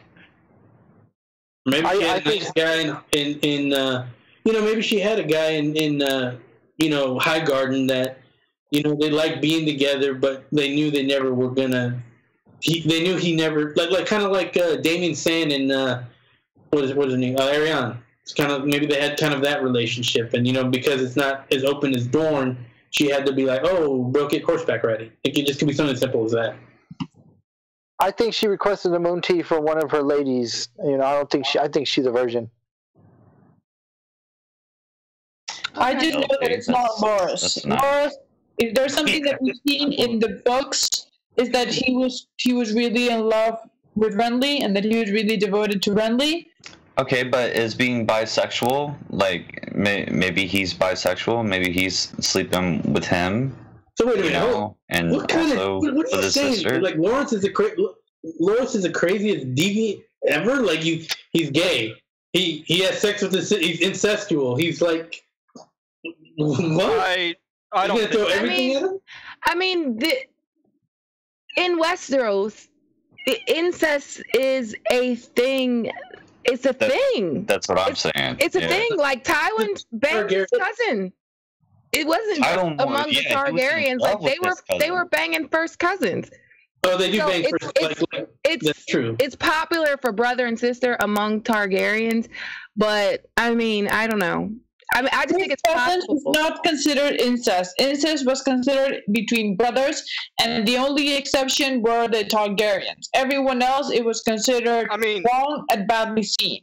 And To me, it's uh, not even- was was because was he said so. The the thing about the candle, I don't remember the sentence right now, but he he actually seems to be generally mourning, Renly, and in love. I don't see him betraying him by sleeping with the sister. to me, yeah, to me, it's not even about the incest thing. And to me, it's just the fact that I think, from a narrative standpoint, that they kind of, you know, paired Loras and Renly together, and I, I just don't see it. I, I just don't see that that that him and Margaery were together. But I don't know. Is- but I, I'm kind of with Gray. It's it's implied. It's implied. You know, Oh, but like who? in Cersei? no, um, uh, Marjorie and and Loris, like you, right? It was just I a, think a, fe- a feeling I gathered, enemies. you know, by by reading it. And the only implication So it got was it wasn't it was implied by Cersei, but you also look they were very close and they were they had a close relationship like Cersei and Jaime. Mhm. So I mean it's room there for a situation to and have been it's like nothing that. new. It's nothing new. It's nothing new, E- Mhm. especially in this world. Like great, ju- just like you said, like it's it's nothing new. You know, it's No, I.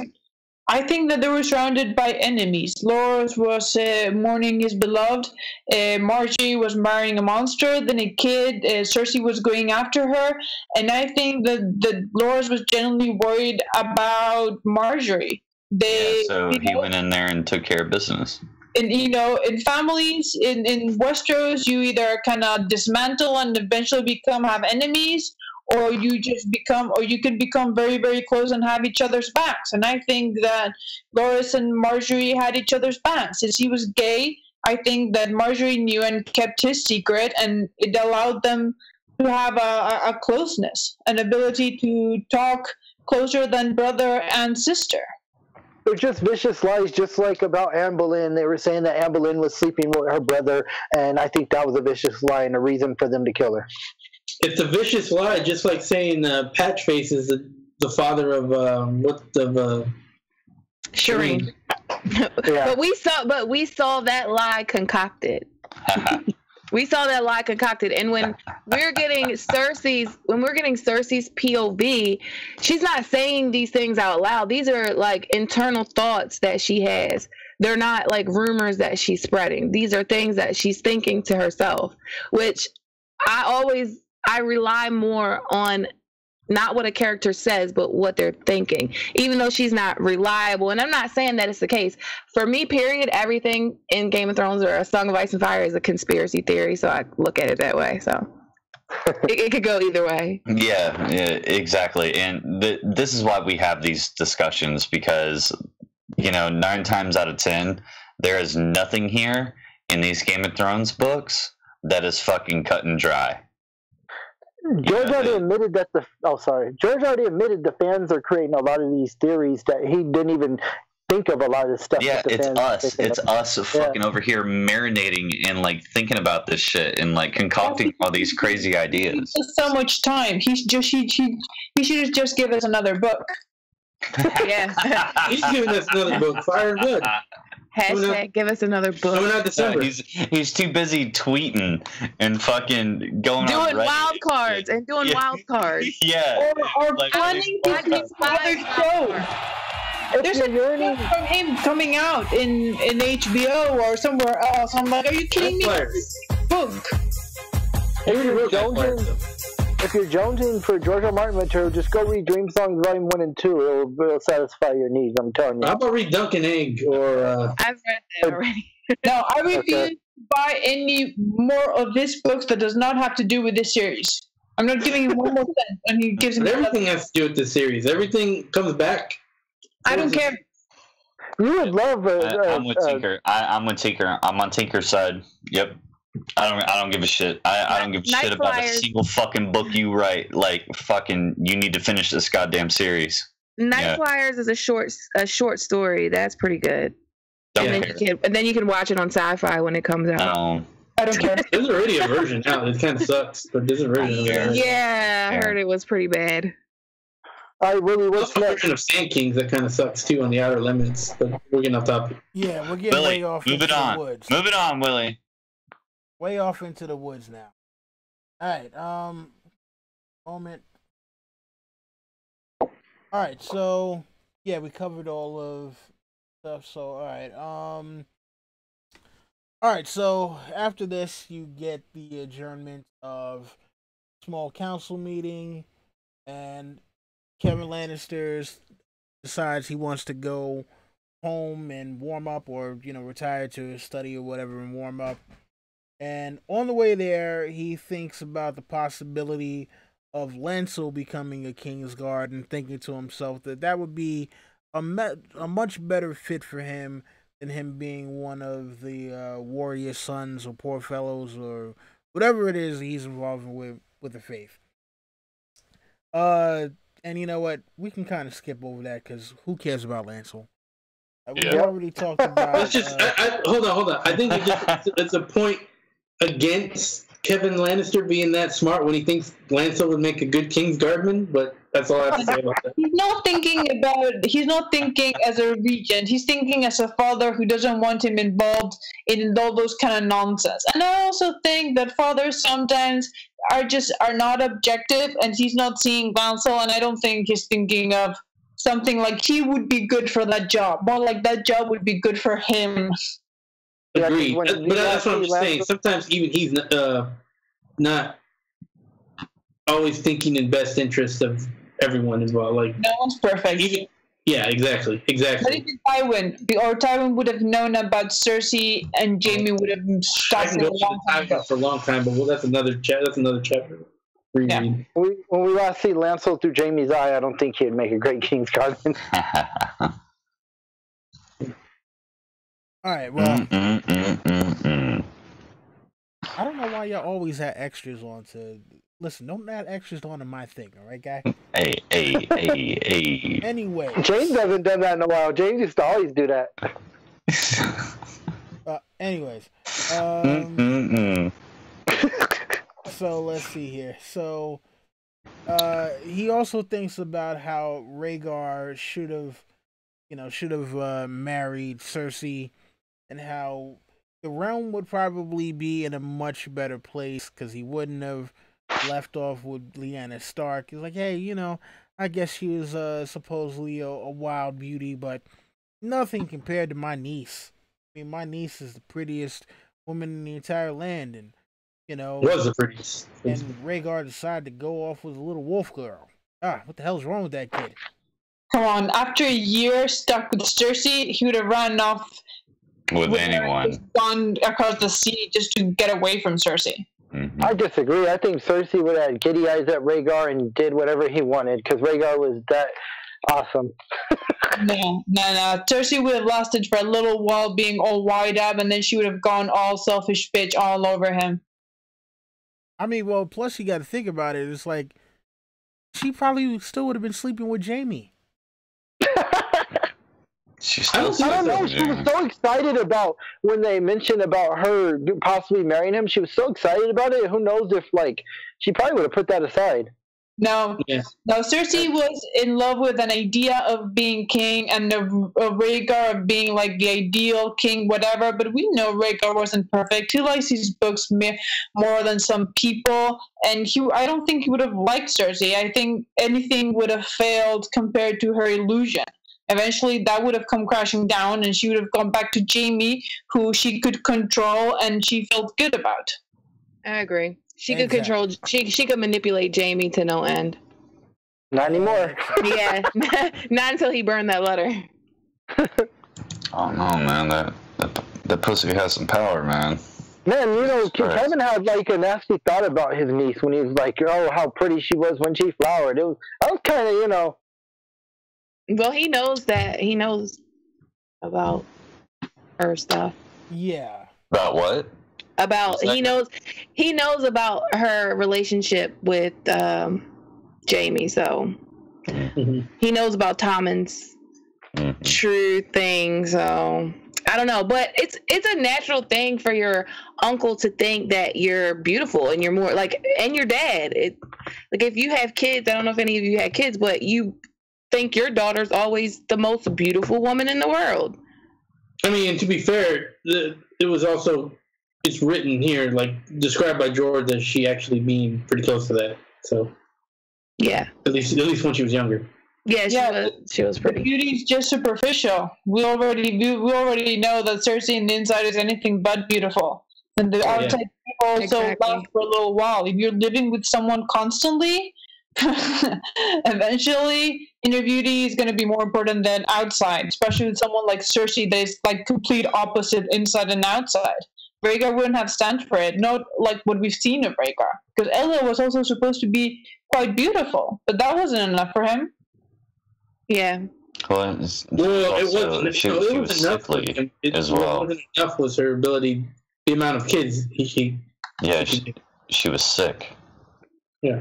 which makes him a absolute asshole. Correct. How do we know that? Correct. Like, if Jon ends up being the chosen one that needed to be birthed, It doesn't stop him from being an asshole. Yeah, you I don't think- leave your wife because she's sickly and can't give you another kid. I You don't know, think you just don't her. do that. I Yeah, don't think he left her because they, they try this bullshit in the show about the annulment, and uh, I'm like, I, there's this picture that I love and I admire so much, and it's a picture of Rhaegar hugging Yolanda, uh, Elia before he leaves for battle. I think he possibly could have loved both of them. I mean, you could love What? two women. But you take Lyanna Stark and you put her in Dorne in this safe tower so she can birth your son, but you leave your do- He- your he wife know. and kids in King's Landing. No, he You left with your- him at with Dragonstone. your- He knew his father. He knew his father was crazy. Yeah, but But he He still left him had at no Dragonstone. like, it was it was Rhaegar Aerys who brought him to King's uh, Landing. yeah, yeah.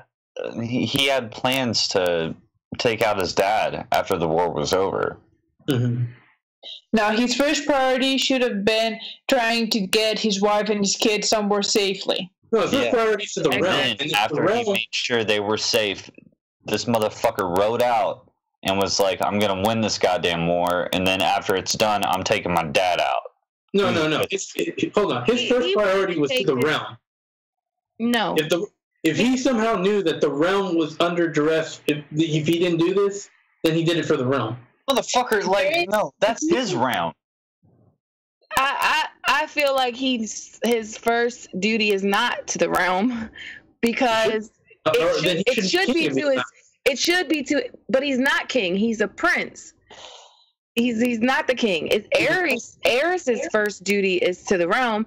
Rhaegar's. Rhaegar's Rhaegar's first duty is to his family, and you and he he put he he puts the realm. He tries to put the realm in, into perspective and take on the responsibility of the realm when he has Harrenhal.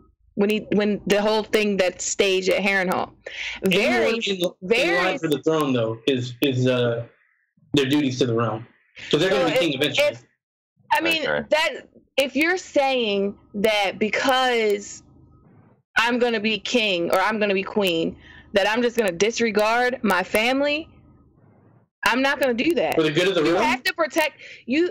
If you look at like the English throne and and things like that, you have to protect your line. You have to protect that. If something happens to you, then your line is who takes over. if Alright, you let if you let your line get wiped out and then you die in battle, then your whole house is gone. It was what That's and that's, that's what we But saw like he he took his wife, took her to the Tower of Joy. He rode out in the pursuit to usurp his father. yeah. He was like, okay, fir- first thing I got to take care of is my family. Got them safe, just like Tinker said. And then his next action was, let me go to this war and win it. And then his third, uh, uh, he didn't succeed in the second one, but his third line of action was, after this, I'm taking out my fucking dad because he's fucking crazy. Not only that, my big problem is that before Lyanna, before all of this, he should have just taken care of his dad first. Like, no offense, when there's a crazy, if he really thought that his first duty was to his realm, he should have taken care of the crazy person on the throne. Because you can't start thinking about whether So he you should have just killed him and ended it right there. Or at Yeah. least started a plot or start to do something. You can't start thinking, I need to have the third ki- uh, kid that is going to then to save this whole disaster, whatever. It doesn't matter if he really thought those crazy thoughts. And even if it turns out they're not crazy and then Jon really is the prince that was coming, it doesn't matter. It doesn't matter when you are not king and you're not able to then deal with all the shit that's gonna cause. There's a crazy person in the throne that is already paranoid about you, about everything that is going. Anything that you do of these kind of acts is gonna send him in a tailspin that we've already seen, that we already know happened. The first priority is to take care of the person that you can't control, that is already crazy, that is doing crazy stuff. You deal with him. You How do we put know he wasn't? order, and then you start putting your plans in action. You can't Hold on. expect to do something it- like take Lyanna Lannister, who is promised to one of your greatest lords, who's the daughter of one of your other greatest lords, with your father, who's crazy ass bonkers on the throne, and not expect for shit to hit the fan. It's just Wait, stupid. Hold on, yeah. hold on, hold on, hold on. How do we know he was not already planning it? Like, because they were. You can't just say, "Oh, take it." no, no, That's not. funny. Yeah, hold he on, wasn't. He wasn't. He That's not an easy he- thing to do. It's not easy just to remove Aerys because you want to. He had to. Wait, do you can lot of. start doing all the other crazy stuff while you have a crazy person in the throne. He We would have needed to do a coup. He would have needed to do a real coup and had everybody support him. Because if he didn't, and if he didn't do the coup, he would have got crushed. Because that's what happens when you try and do a coup. Even if you're the prince, if you try and do a coup and you fail, you all die. So he had to have It- all support.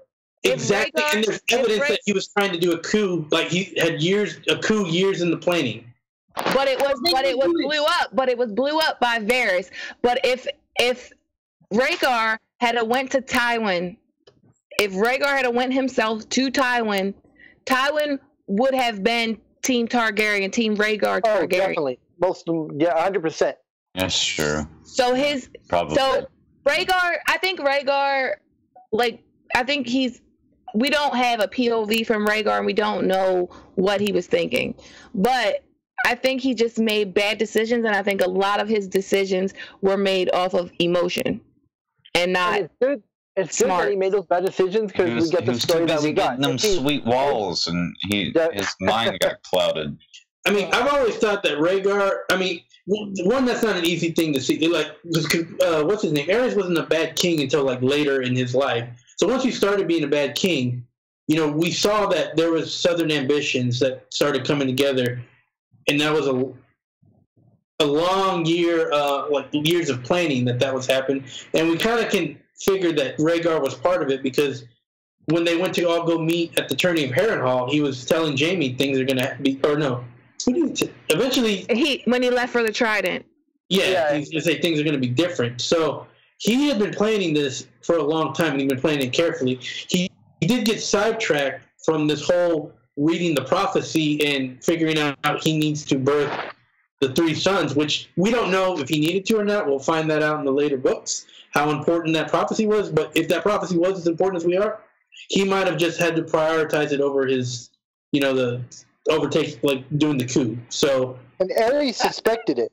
I, I think he kind of got sidetracked with prophecy, and I think he also got kind of sidetracked. What I believe this is not canon. This is just a theory, but I believe that he actually was going to Summerhall, and I think that the ghost of High Heart was at Summerhall, and there's a lot of things in the text that connect that connect those two at Summerhall, and um, he would come back with songs on his harp about dead kings. So I, I think that she was feeding him her dreams. And we know that her, her dreams aren't literal. Her dreams are like, um, I don't know what's the word, but her dreams need to be, yeah, they need to be interpreted. So I just think that he was kind of caught up in that and not really worrying about the big picture. Well, Well, what is the big? Hold on, hold on. But what is the big picture? I mean, if if if the prophecy has anything to do with the the others that are going to be coming down, I would say that's a bigger picture than the Game of Thrones. It's a, I mean, it's a, it's a, it's the bigger picture for winter, but then it was summer. Hey, you got to plan ahead. You can't get. That's how you get caught slipping. Yeah, you plan it. You can plan ahead, but not like twenty years ahead. Like you, you eh, like We'll five years ahead. We'll see. And how is still- planning? No, go ahead, finish. he still had time, like to he could have like just reversed the chronicle of the way that he did things. Like he still had time if he thought that he needed Lyanna. He still had time to go handle king, handle his dad, squash out any kind of rebellion, and then go in honor and talk with the Starks, talk with Robert Baratheon, and try to work something out. Hindsight's always twenty twenty, though. I mean, like, yeah, everyone I think could have done better at something at some point. Given the information that we have, it's possible he might not have been that bad of making decisions. Like, Uh, listen, folks. As, But we're getting off, as, I think, as now. much as I would like to keep this going, we have gotten far deep off. Yeah, let's we- move on we to are the no next. longer on the King's Road at this point. yes. You know, True. we we, we kind of need to get back on on track here. yes, Oh man, like who who who knew that you know just asking about whether or not Cersei was pretty could turn into all of this. But um, My bad. My bad. nah, hey, it is what it is. It's everybody's at fault. Let's just move on to the. It's happened to us in every single reread. we we should just change our name from the Hypes Watch to the to the Rabbit wa- Rabbit Hole Watch. Yeah. Um, okay, so uh, oh, all right. So Kevan also informs uh Cersei that the remaining Kettleblack brothers have been arrested for confessing. Well, not confessing. They've been arrested because she confessed to sleeping with the Kettleblacks. Mhm. Uh, so basically, if they both confess to actually sleeping with the queen, then they will be sent to the wall. If not, they will have to face Robert Strong in trial by combat. And I don't Do think, think we, it's two against one? yeah, but I, think- I don't 'cause think that'd we, be I don't think we care about this. Do we? Anybody Okay. actually care about this? I just I mean, well, a if they go to the wall, if they go to the wall, then Cersei got what she wanted. Well, yeah, because yeah, she she wanted them to go to the wall to kill Oh. Jon Snow, but Jon Snow is dead anyway. So I mean, it's not. Yeah, back in once they get there. I think And, and would pretty, as, as we came to the conclusion last week, he deserved it. I think it would be pretty cool to see a small scene of the mountain destroying them too before we see Cersei's trial by combat. That would be pretty cool. That would be I'd like to see it. Yeah, that would be cool. And well, the question is, will it be two on one or will it be one and then the other? They probably make it two or one just because you know of size, and then it'd be like a thing where he winds up destroying both of them. Oh, how can he be stopped? No, no, no. I No, what's going to happen is they're going to come in, and the mountain is going to go into the crowd and pick a little kid out of the crowd to be his tag team partner, and that's how it's going to happen. All right, uh, let's see here. All right, so here's uh, here's where we come down to the wire on this one. So we have a messenger come to uh, Kevan Lannister and say, "Hey, Grand Maester Pycelle is asking for your presence in his chambers." Kevan, uh, you know, goes out in the snow and is thinking about how damn cold it is. He finally gets to Maester Pycelle's chamber. Well, before he gets there, you know, he sees a little girl who who's there. He takes off his cloak and is like, "Hey, I'm here to see Maester Pycelle," and She got scared. and she just points in his direction. Um, he goes inside and is like, "Damn, it's cold as hell in here." Pycelle, what the hell are you doing? And he sees, you know, there's a white raven sitting on the ledge of of the window, and he's thinking to himself like, "That is the biggest bird I've ever seen. Bigger than any raven, bigger than any falcon, bigger than any hawk." You know, super huge. And he knows that winter is finally here. So he kind of tries to shoo the bird and close the window. But as soon as he turns around, boom! Right in his chest. He gets, and not an arrow, but uh, RKO out of nowhere. yeah, crossbow bolt. I was about to say scorpion bolt. I'm like, no, the, he probably would have got blown out the window if he got hit in the chest with scorpion bolt. Um, so yeah, he gets hit in the chest with the crossbow bolt, and he's thinking to himself, "Hey, this is the way my brother died. I don't want to die like this." And he thinks at first that Tyrion has come to kill him, until Varys the Spider steps out of the shadows and is like, "Hey, It's me, Austin. listen, bro. Um, you've been doing good work, and that's why I got to kill you. Cause you know, um, things are actually starting to be peaceful, and I need things to be all kinds of fucked up, so that people will rally to Aegon's cause once he takes over uh, at Storm's End. And Kevan is thinking to himself, like, "Hey, wait, hold on." Is very serious with this right now? No, I saw that kid bashed. You know, there was nothing left except for some hair, and they wrapped him up in the Lannister cloak so that you wouldn't be basically you wouldn't be able to tell where where the cloak ended and the blood began. And Varys is like, nope, he's actually been training all this time. He you know, he's uh studied with uh scepters and maesters and he's washed He his knows own what it's like to be hungry. Yeah, he's washed his how own clothes. He's had to catch his own food. He knows how to stitch up wounds. You know, he's he's been through all of the rugged stuff and he knows that being a king and ruling the people well is his duty and it's not just a right that he was born with. And that's why people are going to flock to his banners once he comes here. And hey, listen, you know, this is not what I wanted for you, but somebody had to do it. Oh, and yeah, don't worry. Everything's going to be screwed up because Cersei is going to think that the Tyrells did it. Tyrells are going to blame Cersei. And someone somewhere is going to find a way to blame the Dornish for this, even though Dornish absolutely had nothing to do with this at all. But, you know, listen, thank you for your service, Kevan Lannister. You surely will be missed. And then he uh, whistles to one of the kids and start seeing the kids pop up, and in their hands, the daggers. Then the psycho music starts playing. Doo, doo, doo. Can I just say I think it's the um this chapter this chapter this ending of this chapter is sheds the most uh, light on Aegon actually being Aegon, and also sheds the most light on Varys not truly being in service to the realm. Well, True. You know, I was. I mean, True. I wanted to.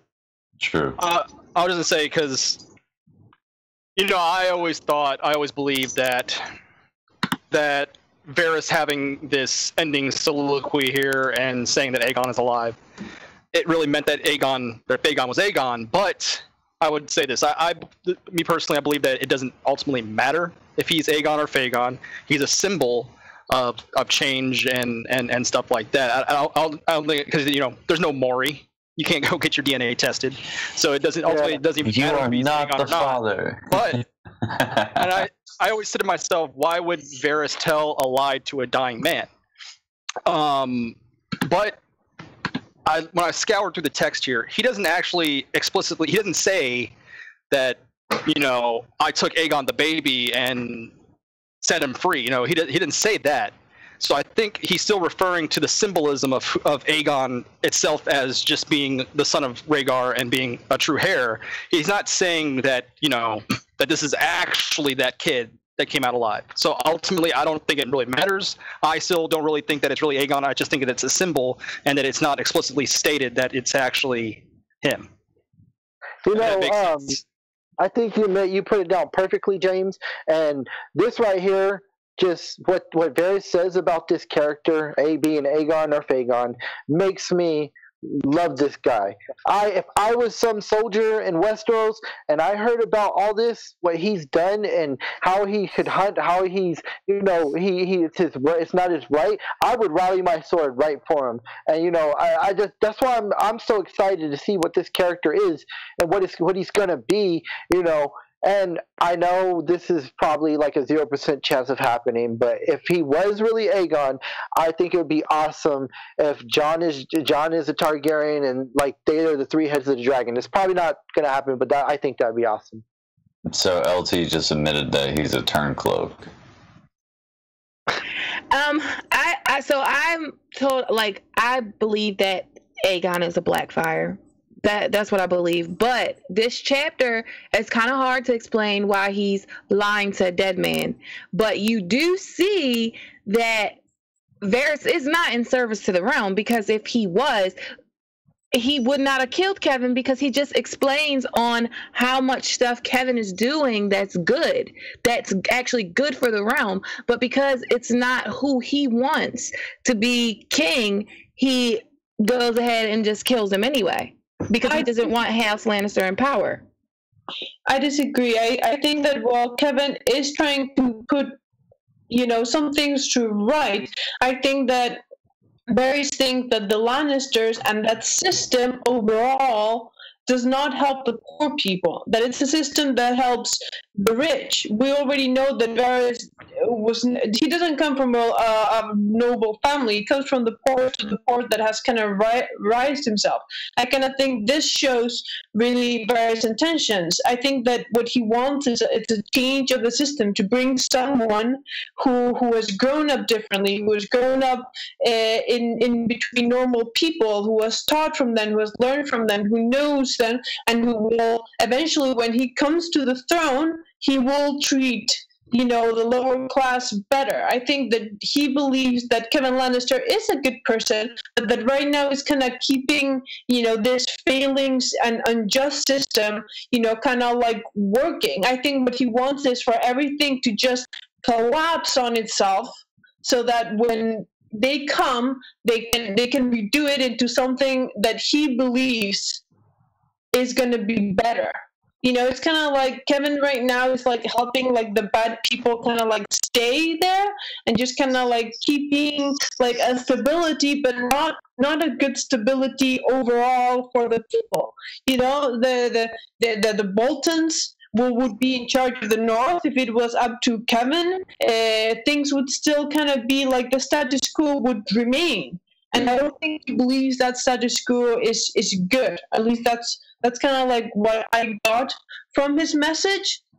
And I think that he just kind of wants to do out with all of these kind of selfish people and try to build something new. And That's that's That's what actually, I I actually don't know where um, Varys comes from, and there's actually a lot of evidence pointing that he himself is a Blackfyre. Maybe not not as high as rank as uh, Aegon, but he himself is a Blackfyre, and that's why he shaves his head to hide his silver hair. Um, that's why how he and Illyrio came to be. That's why his blood was important. That well, he got castrated because they would technically have some king's blood. Yes, but he hasn't been born in a castle in West. So yeah, yeah, that's true. The, well, the Blackfyres have been yeah. Not, Yeah, not- well, if if what I he's if, if he's a Blackfyre, he's an exile. But Varys has been doing he's been doing this dance for a long time. He it, it's said that the Mad King didn't fully go mad until Varys started whispering in his ear.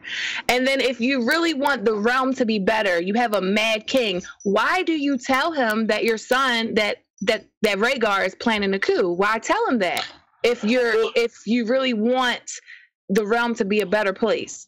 he might be thinking the realm in a better place on a on a long scale, like generational scale, than you know just a you know five ten year scale. But at this See? point, but at this point, Aegon's not even born. No, he's, he's born. He's No. he's pro- Fagon is probably well, one Fagon's probably not the exact same age as what baby Aegon was. He, he was probably well, but then again, you're right because when he came in, he would have been. Hmm, He's older than Jon, right? By a year or two. Yeah. he'd be older Like than- not not even a year, I don't think. Well, No, maybe at that point more than a year because he was a baby. of actually putting a fig on, just getting a, a Blackfyre under the name of Blackfyre. I'm guessing that Varys. I, I'm getting the I get the idea that Varys is very adaptable and that he kind of has like a very a long term idea, but then he changes the exact you know idea uh, you know the exact image of that final idea depending on how things go because not everything is predictable. So maybe he just had the idea of bringing a Blackfyre rebellion, and then when this whole thing happened, he thought, huh, maybe it'd be easier if I could just put it under the banner of a, the, a proper Targaryen.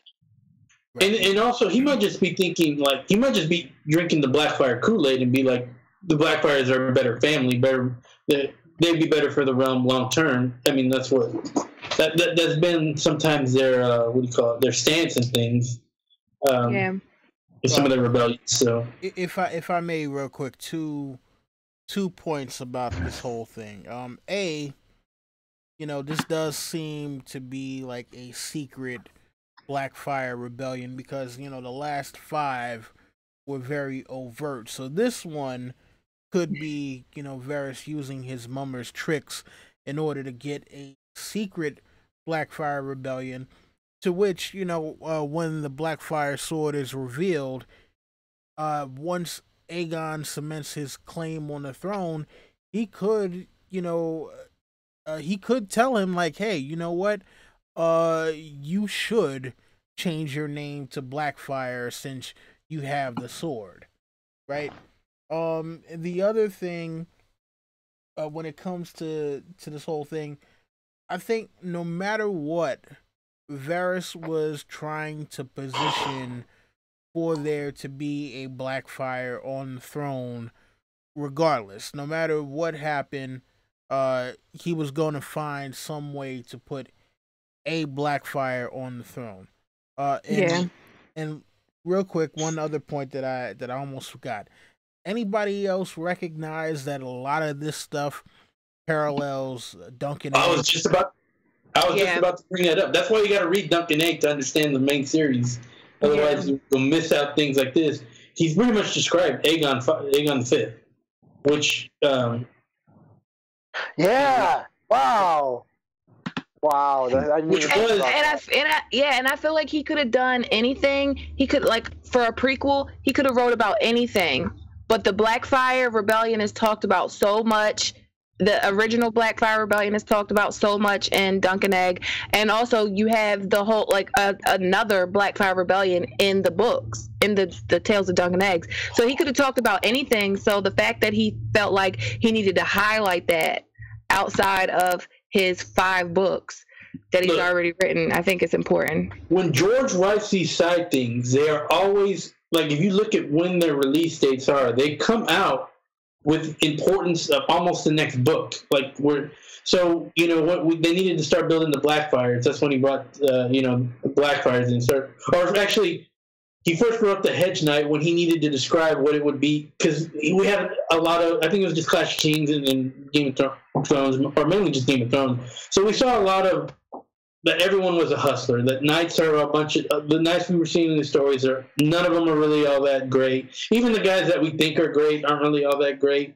Yet then he introduces us someone who actually shows what it means to be a knight. And then you know later we get the Blackfyres, and then um, you know we get the Mystery Knight, which intro- really introduces us more to Bloodraven right before a Dance of Dragons, which we'll get you know Blood Ra- uh, Bloodraven reveal. Um, that's why I think Princess and the Queen. A lot of what's in that we're going to see uh, have effect in. Uh, it's going to hint to a lot what's going to happen in the Winds of Winter. So I have a question for everyone, and this is something that hit me the first time I read Dance of Dragons. Um, where does everybody think Varys was hiding? I mean, the last we see him is a Storm of Swords, and then we don't know. Where does everybody think he was hiding this whole time? Because they checked The his sewers. quarters, and he wasn't there. I, I In want to the- hear everybody's opinion on it. In the So- Red Keep, in the tunnels and stuff. The sewers. he could have been hiding in the open. He was that good at disguise. Yeah. Yeah, because I think yeah he was really good at disguise. Yeah, remember, he could change his look, change his voice. Oh yeah, because I mean, all yeah. these shade and his them. smell and his smell like he could change his he could look like a woman exactly. so Master of He disguise. might have been hanging out at the uh, the mouth of the Mander, or maybe even uh, White Harbor with the Manderly, because you know he's a mermaid.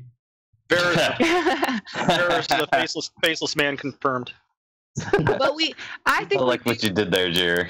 i think we do know that there is at, at least a Blackfyre it's it there has to be a Blackfyre in the game I pretty much. I mean, it, it, I, I think this pretty much. Conf- I mean, I believe that eight Pagan's a Blackfyre as much as I believe in R plus L equals J. It's that strong. Um, like Varys is like in Illyrio, what they're doing really doesn't make sense if, if he's not a Blackfyre. Like yeah. if he is, everything everything fits in like the puzzle perfectly. Um, If like all of a sudden he gets on Team Danny, or all of a sudden out of nowhere. And it also makes sense why he would use Aegon Fifth to oppose, because in my opinion, even though Jaehaerys had the is considered the best king, he's considered the best king to the nobles. In my opinion, the best king was Aegon the Fifth because he would give a lot of he he was trying to transfer a lot of the powers from the nobles to the four pe- to the you know the common people, and that's why he was getting so much crap and why he felt he needed dragons. He needed to strong arm people into thinking that the nobles into thinking that this was right. Um, so, and that I kind of goes. And the one who the one who undid a lot of uh, what all, all the laws that Aegon. We don't know the exact laws because George never said, but there were some laws that were undone by Tywin, and we know Kevan thinks like Tywin, so. You know they're kind of like in direct opposition of each other in their ideologies. well, You know, I'm I'm funny- still waiting on Jerry's fucking first YouTube video. I'm still waiting on it. well, you, I'm you know, you know what's on funny though. Uh, you know, like uh, so so when it comes to Aegon the Fifth, uh, he was kind of like Bane, you know, because uh, Oh, he he wanted to take the power and give it back to I'm you, the people. Oh, he was bernie he was, he was bernie sanders bernie sanders of westeros They Yes, get rid of. Bernie, and everyone opposed him, like Bernie Sanders. He, had, he got Hillary by. I have another question for everybody. So, what happens if Fagon Aegon finds out somehow from Illyrio and, and Varys that his whole life is a lie, that he isn't the Aegon, that he's a fake? Depends on where he finds that why out. does he dye his Do you think? Do you think that he could be like pissed off? You know, what I mean, I Like, think- I don't think he'll ever find out. hair. I think if they if he found out that they would like tell him like, look, it doesn't matter what your blood is, you need to be a symbol for the people. So suck it up and do what you were taught. That's, Well, that's, I think- that's what I would I think John Coe actually thinks he's Aegon. Well, Oh, John Cho- but, definitely. but Oh, remember there there there is Oh, the yeah. line. There is the line uh, earlier from uh, Illyrio, red or black, a dragon is a dragon. yeah, Yeah, but I think it's Varys. I think it's Varys that's the dragon. That's the black dragon. Oh come on, no. Look at his name: what- Varys, Aerys, Daenerys, Viserys, Ares, Blackfyre. Jaehaerys, Lucerys. Come No. on, look at his name. And then No. Moqorro, Moqorro tells Tyrion, um, Tyrion asks him, What do you see in the flames? He says, I see dragon, old and young, dark and bright, dark and bright, red and black. Um, and you, a man that casts a big shadow, standing in the midst of all of them. Who else tells Tyrion that he's a small man that casts a big shadow? Varys. Throne date. Also, are we talking about what Ricky Hunt just said in the chat about how he's saying that Aegon versus Daenerys is going to be the second Dance of the Dragons, while uh, with Aegon getting control of Rhaegal and being the green versus the black? If, no, be, if because Aegon tries to get control of Rhaegal, Rhaegal is gonna eat his ass alive. yeah, I mean, but I think it would be a Dance of the Dragons thing. dude, And I think if he's a Targaryen, there's no fucking way that he has the the fortitude to be part of a dance of dragons. He Like, could tame. He could tame Rhaegal. yeah, I mean, he he's a, could. he's a dragon. He's Jon could probably tame. tame No, he, he cannot he cannot tame. Wait, why wouldn't he be not able to tame tame? I don't not? think I don't think he can because I don't think he's a Blackfyre. I think he's the Tanner son. He was the Tanner son was really taken from King's Landing. Right, Okay, if he's a Tanner's son, I don't When- think he when will. Varys- He's a when Blackfyre. Varys when Varys no, Varys is the Blackfyre. When Varys saw that Aegon's face was so ruined, he took a boy from King's Landing and sent him across the narrow sea to become Aegon. Why the But Tanner the son best lies, the best lies have a little bit of truth. But why does I the mean- Tanner have silver hair? Cause Take that over there. maybe maybe he, maybe his mother banged a Waters or something. Oh, I and mean, then well, remember too. Why doesn't Jon have silver hair? I No, mean, no, well, no, I had, because I had a does have silver- theory. They don't have silver hair. I had I had died. a theory about uh about when it comes to uh strong leadership uh and, and you know it it doesn't make sense genetically but if you're thinking about I guess strong-willed characters I think the reason why Jon doesn't have silver hair is because the more dominant out of that relationship was Lyanna um so that that's my theory on on that one with Jon Snow's uh Jon Snow's looks. But um, Yeah. No, I, I'm not dis- I'm not disagreeing with that. What I'm saying is there are people in King's Landing that have silver hair. We see Rain Waters on the small council meeting. He Right. has Mhm. purple hair. There are there are people in King's Landing with Valyrian descent, and the Yo, Tanner's and son could have been don't, one don't, of them. don't forget, like the Targaryens are not the only ones that fled the the fires of right, we have the Valyrians as well, yeah, you know, and there's And the whole people from Lys. Yeah, you know, we have the possibility of uh of the Daynes as well cuz it's funny uh we we get a description of the Daynes all having purple eyes, but the only person whose hair we've actually uh seen is Dark Star. So we don't know. no, we he don't he just had a streak. He just had a streak in his hair. Right, but what I'm saying, but no, but what I'm saying is, we don't know fully what Arthur Dayne looked like, other than he had purple eyes, and we don't know what Ashara Dayne looked like, other than the fact that she had purple eyes. So they Yeah. could have had black hair, brown hair, pink hair. Who knows? We we haven't gotten a full description of them yet. Dude, you're you're the one that did the Valyrian video. Like, there's, I mean, there's there's Right. so many different houses that that fled, you know, from Valyria. Right. I, Yeah. I, It was I know. Remember, Gray, you don't. Oh, sorry. I was gonna say, here's the here's the thing though. Even if he's a bastard of of uh, either Targaryen, Blackfyre, or uh, or or uh, Valyrian, even if he's a bastard, he would still be able to tame a dragon, as we've seen bastards. I mean, yeah, I mean- Yeah, you can you can tame a dragon if you have blood. I don't even think you have to have that blood, but I'm not even gonna go get into that rabbit hole. Well, there's- But don't know about her. but Quentyn Quentyn had Targaryen blood and he couldn't he couldn't tame them. I I really think that on about the I really think that Euron is gonna get a dragon. And the Night King is gonna get a dragon. And Daenerys will have a dragon. Euron is not going to get a dragon, and I, I like how you said that. How fucking Teflon just showed up in the chat again. Euron will not get a dragon and fly to Casterly Rock. I swear to God. I If don't I think ever hear that come out of his mouth again, like I'm fucking dude. I don't Every time that, he but- says that shit, it fucking boils my blood. Like, no, that is I not hope it happening. doesn't happen either because I hate Euron Greyjoy with a passion of a thousand suns.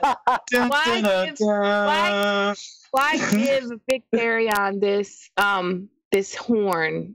Why give him this dragon horn to take over to Daenerys and then Moqorro explaining to him how to use it I don't all think it's stuff? real. If- I, I, I don't think it's real. No, I you don't think look, that horn? I think it's real. I think it's Mhm. a real dragon horn. I think it was a thing of I do yeah. too. I'm I'm giving Yeah, I do my too. brother. I'm giving my idiot brother this horn. And letting him think that he could possibly take over the dragon, not even though real. I've I've bound it to myself already. Sorry, Kraken. You're gonna find out. And when the horn gets blown, the dragon is gonna go right past Victarion. Uh, no, he's gonna roast him on fire. Uh, fly past him and go straight to Euron. Well, That's probably what's Victarion gonna happen. Victarion can't blow the horn. Whoever blows the horn dies. So he's gonna have to Right. like claim it with fire and blood. So I don't know how he's gonna. Right. All right, now, now y'all are getting under my skin. We are. We are. Sorry. We are. We are ending. Greyjoys, right? That, I mean, that Euron I- and I'm a Victarion supporter- has nothing to do with this chapter. yeah, I, I'm. a- Yeah, let's- let's go back to this. All Let's go back to- Greyjoys, but yeah, like, please, let's not go into the Greyjoy discussion. Yeah, listen, look, look, people, people. tune people Hold in next we're- week, folks. we're- we're- I wanted to add more about this, though, about what Ricky Hunt said about this. Like, I don't think he's going to get it, even though he could technically get a dragon. But that's a great point. I think that Ricky Hunt meant that it's uh, um, it could be a dance of, you know, a dance with dragon, like another Black Blackfyre Dance with Dragons kind of thing, because what came, out, what novella came out after Winds of Winter? Princess and the Queen and Rogue Prince. Yep. There you go. Well, look, before I you think know, you like, read the look, we're, we're gonna come starting, we're starting to get deep into the woods again, yeah. and I, I do know that we have two people on the panel who who do need to kind of uh, get out of here. We don't want to be, Bounce. we don't Yeah. want to monopolize their time. So, uh, yeah, look, if anything, I think we should probably set up a discussion, and we'll call it "Who Will Get a Dragon." Dude, I'm down. I'm down. What's one the has rules? to Yeah, Who will get a dragon? Sign me up, dude. All right, so How, how, how, how to steal and train your dragons. That'll be the name. Shut So- up, Jerry. All right, so uh yeah, look, this was this was a great one as always. Uh we so happy to have the, the Yes. band back together in a major way and and definitely so happy to have Gray Area on here. Uh Gray, you know, plug plug yourself for the people who, you know, pretty much already know you anyway. Yes, ma'am. yes, ma'am. T- tell them. Tell him. Thanks for having me on. Um, you can check out my channel. Um, the channel is Gray Area, and if you want to know why I think Varys is Blackfyre, I have a whole, I have two 30 minute videos on the Black Dragon conspiracy, Hmm. and I was so happy that you guys called me for this chapter. Yeah, we're, we're happy Just to have you. saying. Uh, link is in the description. So make sure to subscribe to Gray Area if you have not done so already. Next up, Lady Tinker. Uh, tell the people what you're up to and uh, where they can find you. Ah, it was so great to be back to reread. I had so much fun. I loved it. I really hope that uh, I'm I do not miss the next one because it's just so great to be back. I had so much fun, and I'm sure you know me. I'm Tinker Jaso. I'm in my channel. I do reactions uh, and reviews of the episodes when they come, which is, are not coming until next year. I cannot believe that they're taking so bloody long for the next season and God knows when the next book's coming out. That's going to be even longer. But anyway, Sort out next week. thank you very much, uh, you guys, for watching us live or later, and I had a lot of fun. All right. Oh, hold on. Don. Now, Willi, Yeah, what's going on? before, before everyone goes, I want to just get a quick answer. Did Kevan deserve to die? Yes or no? Yes, No, he deserves no. to die, and I hope he burns in hell. no. No from gray area. LT. No. No, no, no from James Kraken. I'm with I'm with Willi on this one. Yes, he, he's a Lannister. He all Lannisters deserve to Oh, yeah. die. Yeah, Tinker. he needed, he needed to go. I'm sorry. I'm I I you know he was a decent Lannister, but the Lannisters have to go down. And while he's there, I'm I'm you know I'm with Varys. He's keeping things stable, and things need to crash and burn from some for someone else to come in and put things back in track. So sorry. Deserve to die according to Tinker. Even though good men deserve to die according to Tinker. Okay. Um, Well, he supported his father, and he's supporting all of this. Here we go again. stuff. Sherry. He knows Tommen is an illegitimate, so let's not Good get into point. the conversation. We're, we're we're sort of closing, and I actually need to leave. Yeah. I, I'm gonna say from this evidence he doesn't deserve to die, but I have a feeling there's e- mountains of evidence saying that he does. So uh, there you go. All right. Kraken, you're up. Um, guys, um, I, I'm with Tinker on this one. Um, it, it was so much fun to be back, you know, like and, and just talk with you guys. Um, you know, there's there's a lot of people that I hang out um, with in my life, but nobody has read these books, and nobody is as passionate about it as I am. You know, and it's it's just it's so nice to to talk to you guys and, and have everyone comment in the chat room and you know like uh, all the comments that that we're gonna get. Like i'm gonna read through every single one of them you know? It's it's just it's wonderful. It makes me feel good. I get excited about it you know and i i'm just really happy to be here uh, i thanks you guys like I, I i love y'all like y'all y'all are some of my best friends you know you really are but i'm on the Kraken Witt i'm out It's good having you back. Yeah. Yeah, Great having you thank back, you. thank you JB, JB, you're up. Uh, Um, first off, keep an eye on the Hypes Watch Twitter to uh, vote for next month's chapter. We'll put a vote up there, and you guys can choose a chapter. Don't choose LT's chapter three months in a row, please.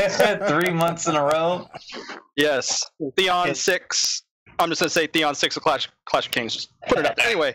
Um, I uh, also on my channel I put out a video the other day for the first time in ten months. Um, I started writing a fantasy novel and I put out the first two Sorry. chapters. I would, you know, if you guys want to check it out and and give me feedback, that'd be cool on his channel on my On his on my channel. channel, Mhm. JBTV.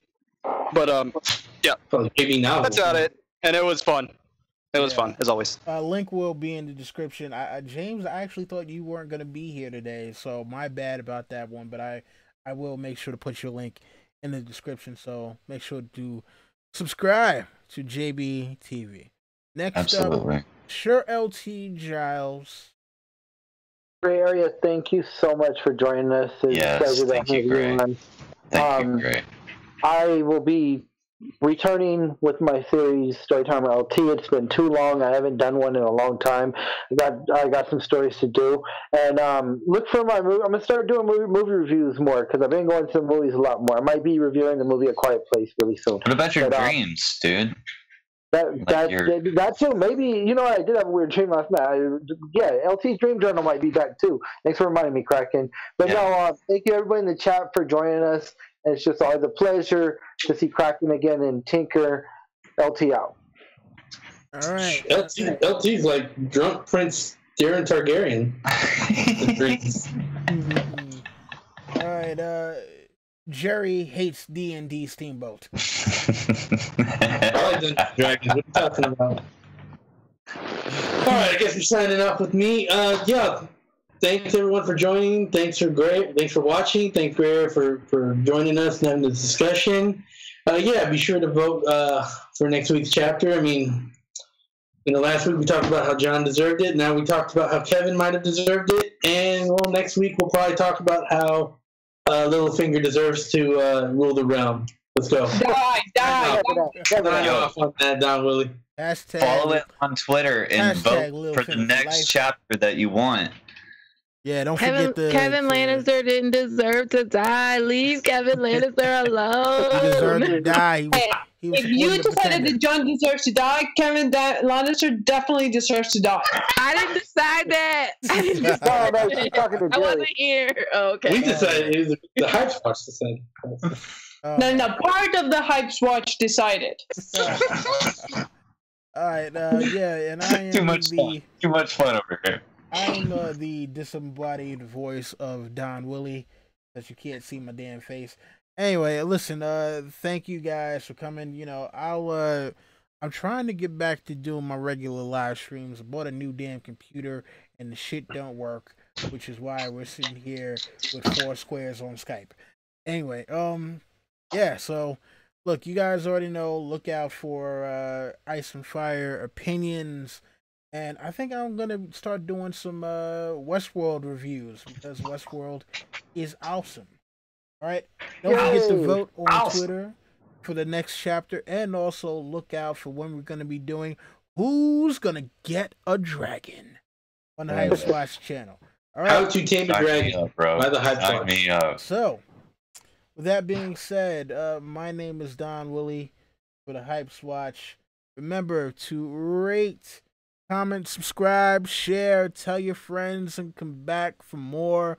We are the Hype Watch, and that has been our time. This is Don Willi saying, Valar Dohaeris. We will see you soon. Farewell and good luck and good night. Leroy Jenkins. Jenkins! yeah!